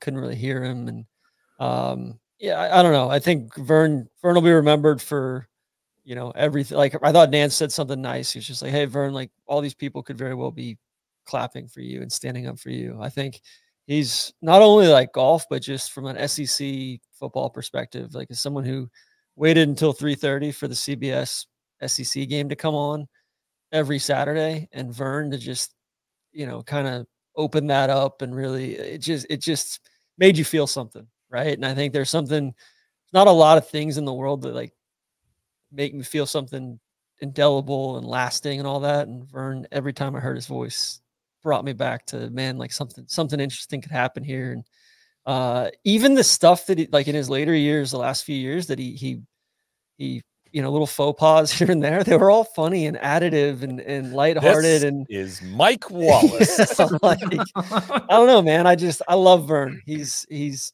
the best of you know the best of golf, the best of sports broadcasting, and it was never about Vern. It was about what was happening on the screen there, and and uh, you know, sad to see him go. Who uh the question for the group, who who should get the chair? Who are they going to replace him with? That's I a got I got question. a nomination if you guys are are taking them, but Please. I think our girl Iona Oh, I love would that. be epic, man. Start a start, she's young, she's got a great voice, great like sharp about the game, no good, you know, just good eye for everything. Like I think she would be awesome for the next, you know, start another like Great accent. 50 year run here, right? With someone with someone love young. I think that would be phenomenal. That's great. Just an out of left field idea. I'd love to get Bones involved in the CBS side. Yeah. It's I a know good he's idea. got NBC relationship, but I'd I'd like to come him to come over to the the good side. Come to death row. uh I think that's I'd say you know great. I think I think Jack Collinsworth. sure. I think uh, Jason Garrett, Yeah. Again, the same CBS NBC issues. Tony Tony yeah. Dungy. Yeah. Give my guy. Yeah. Who, who else? Yeah. Oh, that would gotta be good. Brandon, maybe your guy Tom Brennaman. I think Tom, I think he's still he's yeah, a free agent. Exactly. Oh, I mean, we- we've been fly ball slap the right bunker. Uh, Mark Yeah, Jackson. uh, all right, listen. The, the laughs are starting to are starting to roll here. Which Cody, I think it's perfect time. Oh, Uh, we we heard from our guy, our guy Charles Van Kirk. You might know him from the uh, from the Big Cans remix. uh, unsolicited, he was he was very taken by some of the audio from from the pros presser last night. I was hoping to play this in victory. I was hoping maybe you know we even get Max on the show wearing the green jacket tonight, and we play this. But uh, I think it's going to be helpful and handy going forward either way. So, uh, you know, Cody, without further ado, let, let's let's get to the the latest cut from our guy Charles Van Kirk. I remind myself I'm a dog, I'm a dog, I'm a dog, I'm a dog. I'm a dog, I'm a dog. Hello, friends. Golf's rightful king. I'm a dog, dog. Tradition unlike any other.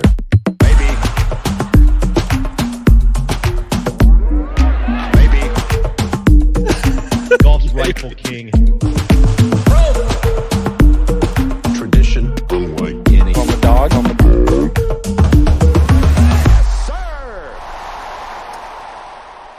God, got that legs. Dang. banged with Max in here wearing a green jacket. Oh I my know. god. I know. Again, listen, we we have it now. It's in the arsenal, and if you know next time Max wins, I think we, you know, we might have to lead the show with that one. But Hey, uh, before we get too far down here and get into silliness, I think we've so yeah, sorry, hold on. Let me turn down the I'm a dog remix. Go ahead, TC. uh Cam, I want to call out Cam. Speaking I thought he was going to make a run today. Uh, he had the eagle on two, did not make a birdie or an eagle the rest of the day. Hmm. Um, but you know, good finish for Cam. I don't think anybody was expecting him to kind of punch above uh, T6 along with DeChambeau. I, I do want to apologize. Like I, I'm, I'm good on DeChambeau now for like the rest of the year. Like I, it could be like a once or twice a year thing, right? ate too, ate too much cake. Yeah, God, I want a piece of cake. Oh God, why do I eat all that cake? Yeah. Yeah. Uh yeah, what else? Hatton. Uh that could be a big T9 to get him in here next year.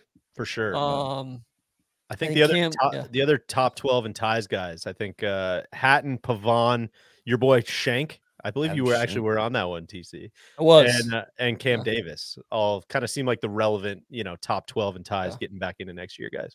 Um, P played well, like you foretold, Randy. You were you were high on P. Uh, Yeah, Cam listen, Young. He- Yeah. He- he- I, I thought P had a top 10 in him today. I, I was disappointed he didn't get into red numbers.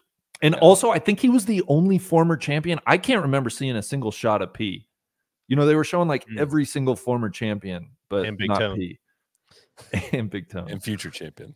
uh, I think so. Sepp, good good finish. Chris Kirk, good finish there. Wanted to call that out.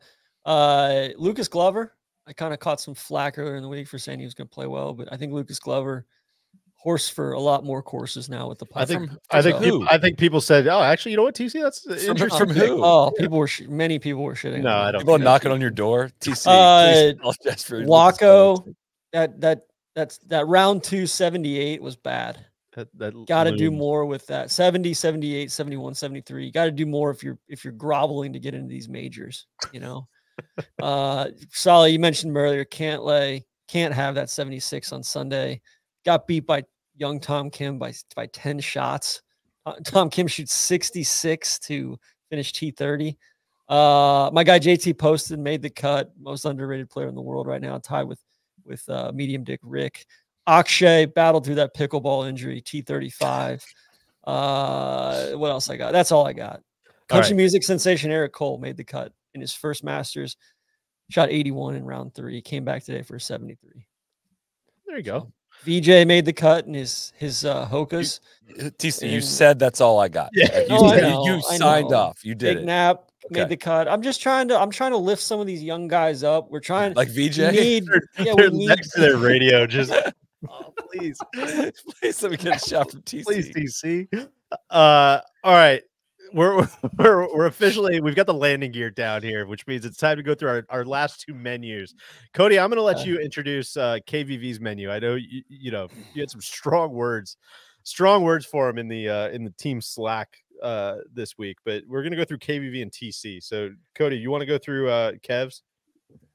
Yes, I will. This is, uh, of course, served in honor of Mr. Kevin Van Valkenburg. We're going to lead here with some hot pepper cheese sliders, courtesy of the Missoula Club in Missoula, Montana. This is Kevin where style. this is where I immediately. Uh, I think we talked about Rocky Mountain oysters the other day, and I, I'm pretty sure that Kev admitted that he's never had them in his entire life, but he's going to feed Rocky Mountain oysters to the the rest of the guests at his uh, championship dinner, and then of course he's For going those to who have don't know, of course, are testicles. bull, bull testicles.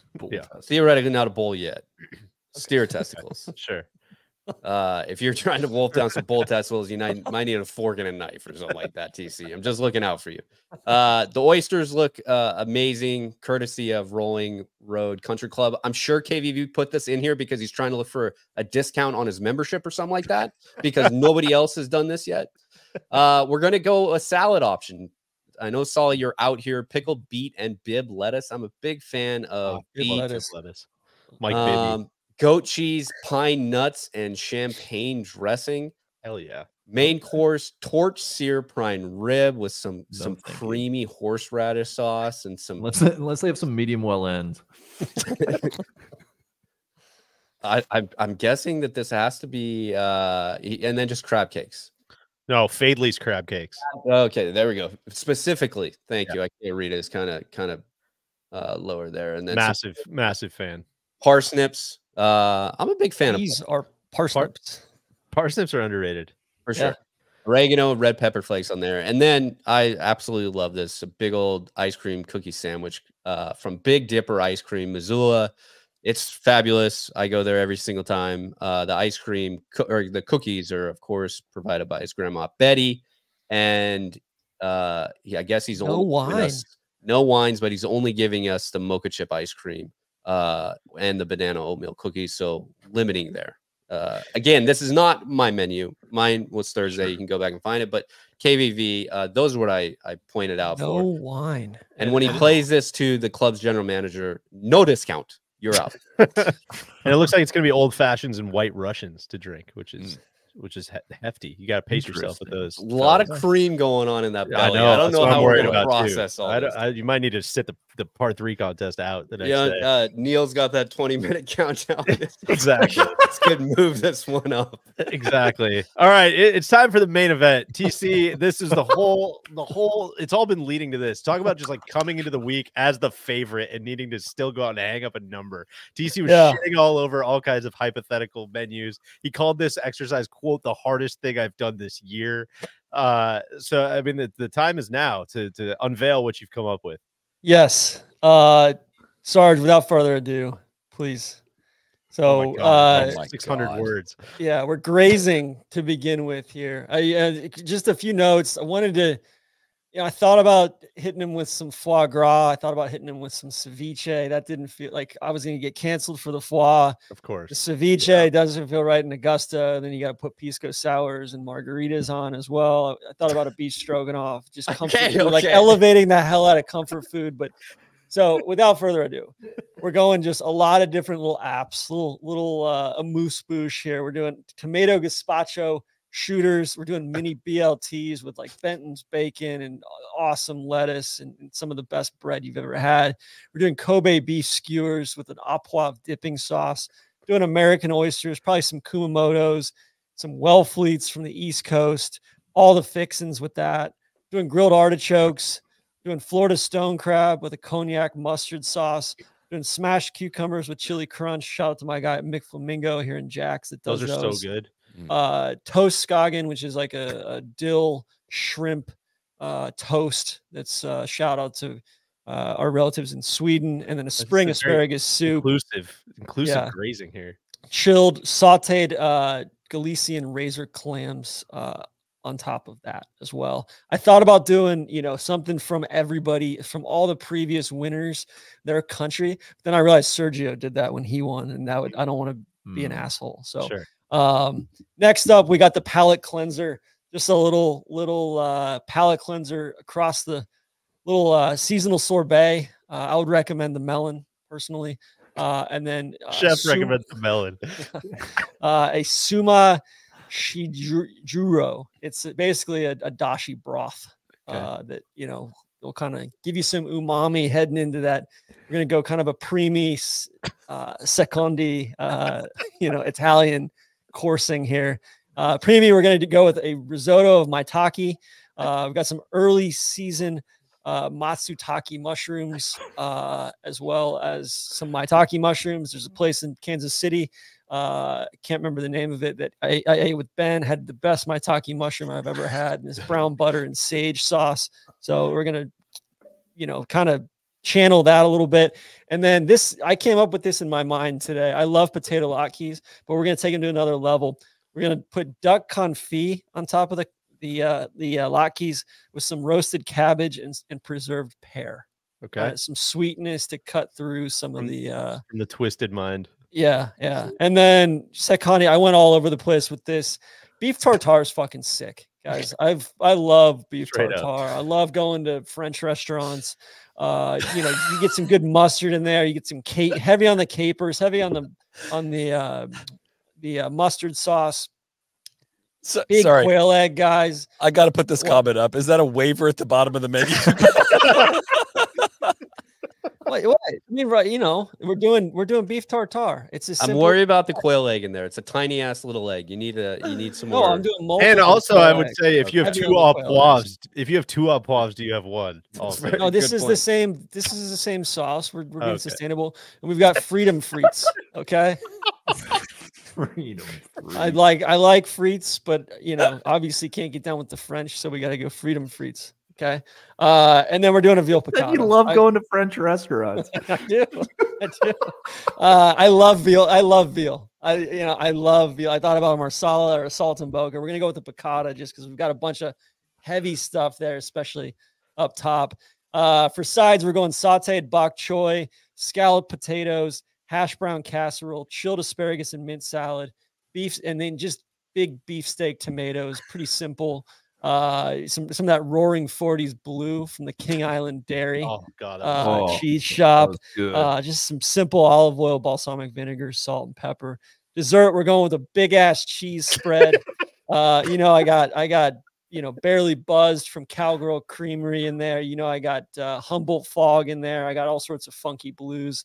Uh, and then we're going strawberries, just straight strawberries. Keep it simple. We're going watermelon. Japanese strawberries? Are, are we importing these or these? Uh, No, no, local, fresh. This is. I'm trying to get this. Like that's why I did the asparagus soup, Cody. That's why. Like I'm trying to get some Georgia some, strawberries, not some peaches. local, you know, fresh ingredients. Uh, spring, April here. Uh, we're doing watermelon with smoked feta and basil, and then I'm having the chef, the pastry chef at Augusta National, make me homemade Dippin' Dots, which is the ice cream of the future. If you're not aware. literally, it's literally the ice cream of the future. and I think homemade Dippin' Dots would be one of the most avant-garde things anybody could ever ever do. And then we got some bangers on the wine front. Uh, we've got a, uh, a Jacqueline, which is actually similar to uh, the white that uh, Mr. Rahm served just a, a few days ago. We're going to do that in a rosé, actually, though.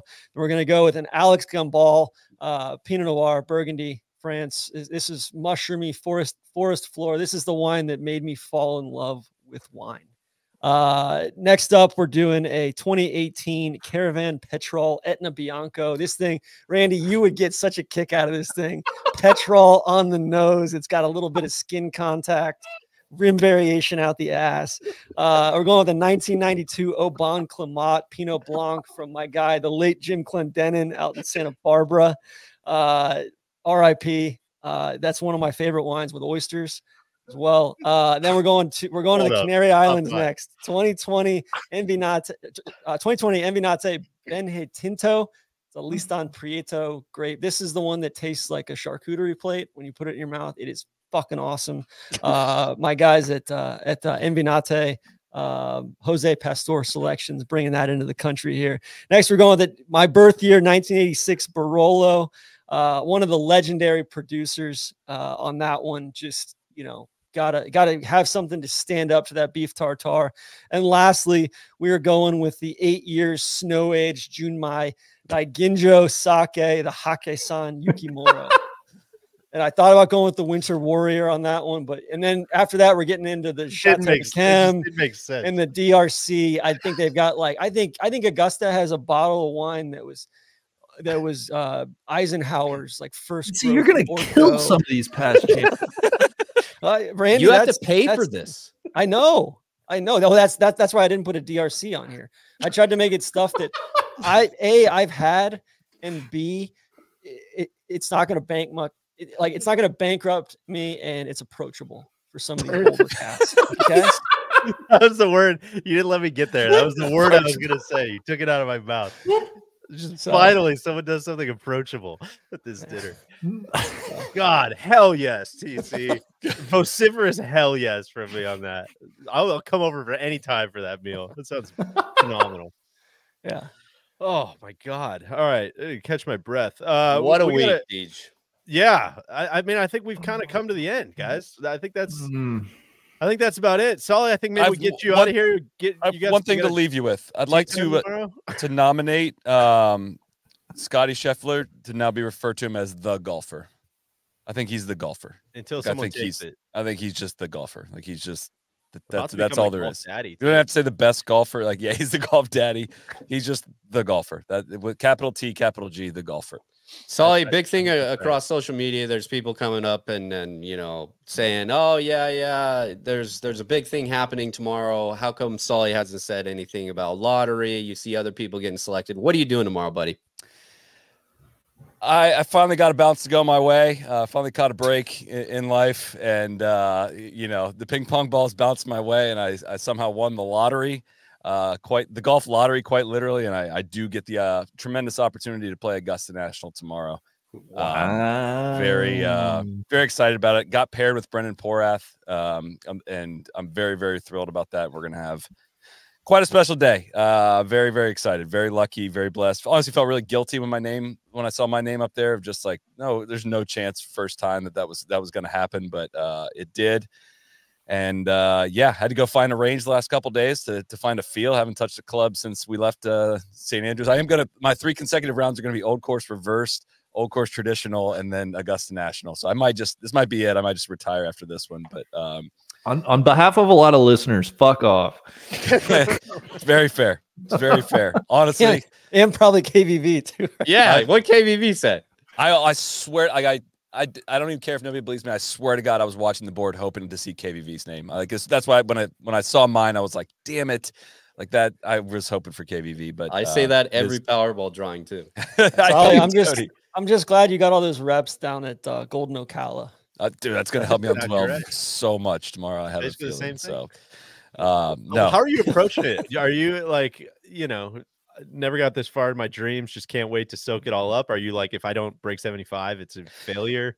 Uh, yeah, for sure. Just if I play bad, I'm gonna have like the if the first four hole goes holes go bad, I'm gonna let it ruin the rest of my day. That's the that's the main way I'm approaching it. No, I I Great just some big cans out. Are you gonna hit cups? We'll hit What'd cups. Um, I'm not gonna I'm not gonna worry too much about what I shoot. I just want to like just want to experience the shots, right? Um, I, I've gotten a lot of advice from a lot of people. Like, don't treat it like it's the only time you're ever gonna play, or else you're gonna choke your ass off. Um, I'm just you know, member T is gonna be very different. I still don't really know what how to how to you know what what shots to hit and where to be where to be hitting it. But um, I'm just gonna go soak it up and have fun. It's I hold uh, this tournament and the and this and this course with a lot of reverence, and uh, this is going to mean obviously mean a ton to me. So I'm really, really, really excited about it. And I'm sure we'll sure we'll have a pod about it afterwards, and everybody can hear all about it. But a lot of people that have gotten to do it uh, in the media lottery have, have said nothing but amazing things about it, and feel feel very blessed uh, to to have been here this past week and to, to have this happen was was just pretty surreal. So I'm very excited. I bet That- you play really well. Yeah. Honestly, For sure. I think you're going to go out there. You, you, you're the comfiest of comfiest pairings. Like you and BP out there just having a stroll. Unless a third person, I don't know, you didn't say. if it's that the lady, Oh, I hope it's No, the it's German not. First lady. round of golf ever. Yeah. It's not. That would be Gordon and. Brett are the other two uh, guys that we're gonna be we're gonna be playing with. But uh, yeah, gonna miss a couple meetings tomorrow, and I do apologize for that one, guys. Um, also, I love I love you so much, honey. It is her birthday tomorrow, and uh, I did I did warn her that this potentially could happen. Didn't think it actually would. Uh, so Daddy will be getting bringing home a, a nice birthday present for mommy in some way I need to go uh, hit that Walmart. Walmart. Hit Yeah. that Walmart, see if they got any Yeah. flowers left. Uh, well, have fun, dude. Have Have fun. fun. Yeah. Thank we you. got guys. we got a couple other quick housekeeping things. Tourist sauce is back this week. We thought that would be a good Masters hangover cure for everybody. So look for that Wednesday night at 9 p.m. Eastern. We are going back to Australia. Uh, the trailer is up on our YouTube channel. People seem to be really digging it. It's a very fun season. I can't uh, wait for everybody to see it. Uh, we've got the first LPGA major of the year that coming up this week, Randall. You got I'm sure we'll have some collateral around that. Yeah, for sure. We'll we'll have a preview podcast out uh, late Wednesday into Thursday, and then uh, live show Friday at the conclusion of play. Live show Sunday. But I also want to shout out TC and Cody are going to be on ESPN Plus. So find they're they're going to announce the official details, I believe, tomorrow. But be sure to tune in. Uh, you can hear a couple of our boys calling some golf. That's Uh, awesome. I'm excited. We've for that. got Cody, we've got the booth is back this week on the Trap Draw feed. We have a whole other podcast. If you're just discovering this podcast for the first time, we have a whole other pod. If you love this golf podcast, we have a whole other podcast that doesn't talk about golf at all. Uh, it's called the Trap Draw. Uh, you can seek that one out. It's usually different from episode to episode. Sometimes it's baseball, sometimes it's movies, sometimes it's grocery stores. Uh, this time it's going to be uh, Neil and Cody chopping it up in what we call the booth. That will be going up uh, this week, I believe. And TC, the pro shop is loaded. Is that Pro correct? Shop is loaded. It's chock full. We got all the all the hits in there. We got a bunch of FootJoy stuff launching this week. We got Rhoback. We got our H and B spring collection. We got some new golf tees and some new colors from the Twisted Mind of Casey and TC there. Uh, and then I would also direct people too to the the uh, Tourist Sauce uh, podcast that'll be dropping this week as well. That's It is right. a busy podcast week. We got Tourist Sauce podcast coming out on Tuesday. On Wednesday, this show, we're back. Another happy, Happy hour. hour. Jeez. Can we it the Hangover Show. RBC Heritage Happy Hour. We're going to be here previewing that, previewing the Chevron. Big mention. We're going to be live on Friday. TC, myself, Jordan, probably try to get some guests in there too because the big guy is bailed on us and is going to Mexico on vacation. And then Sunday, a week from today, we're right back here live again. RBC Chevron recap. Love it. Boys, You're on mute. You're on mute, Pie Man. Uh, it was the only time I did that all week. All and I was just trying to say what a great week it was. Thank you so much uh, to everybody who listened. Thank you to all of you guys. Thanks to KVV for popping in. Smash Thanks it. For, for Jordan for hanging out. Thanks to Cody. Thanks to Tron, Randy, Neil, Johnson, Wagner came by. All of you guys for listening. This was the best. It was my one of my favorite weeks of, of Masters coverage we've ever done. Legion 13. Yeah, we've got just And- th- thank you to everybody. And thanks to you, Deej, for for sitting in the hosting chair and, and running the ones and twos, and and uh, Cody running the ones and twos, but running the uh you know running the host chair. This was this was a, a treat for me to get to experience in person, and couldn't have been possible without uh, without you taking over the hosting duties. And a lot of people, a lot of people asking for a Amsterdam. We're gonna give CBS a break this week. It felt like a little bit of a reversion into bad habits, but we got them again for Harbour Town. And if we need to put them on blast, we'll put them on blast, or hopefully we're we're praising progress there. Uh, come this time next week. Like, don't do that. That's that was this was TC. This is my favorite tweet I all week. This is TC's alternate champions menu here. I think if that's that's one for the YouTube people only. It's not going to make any sense on the podcast. I'm sorry.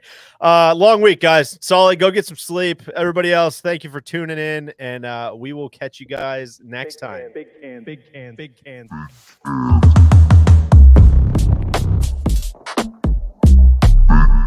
can.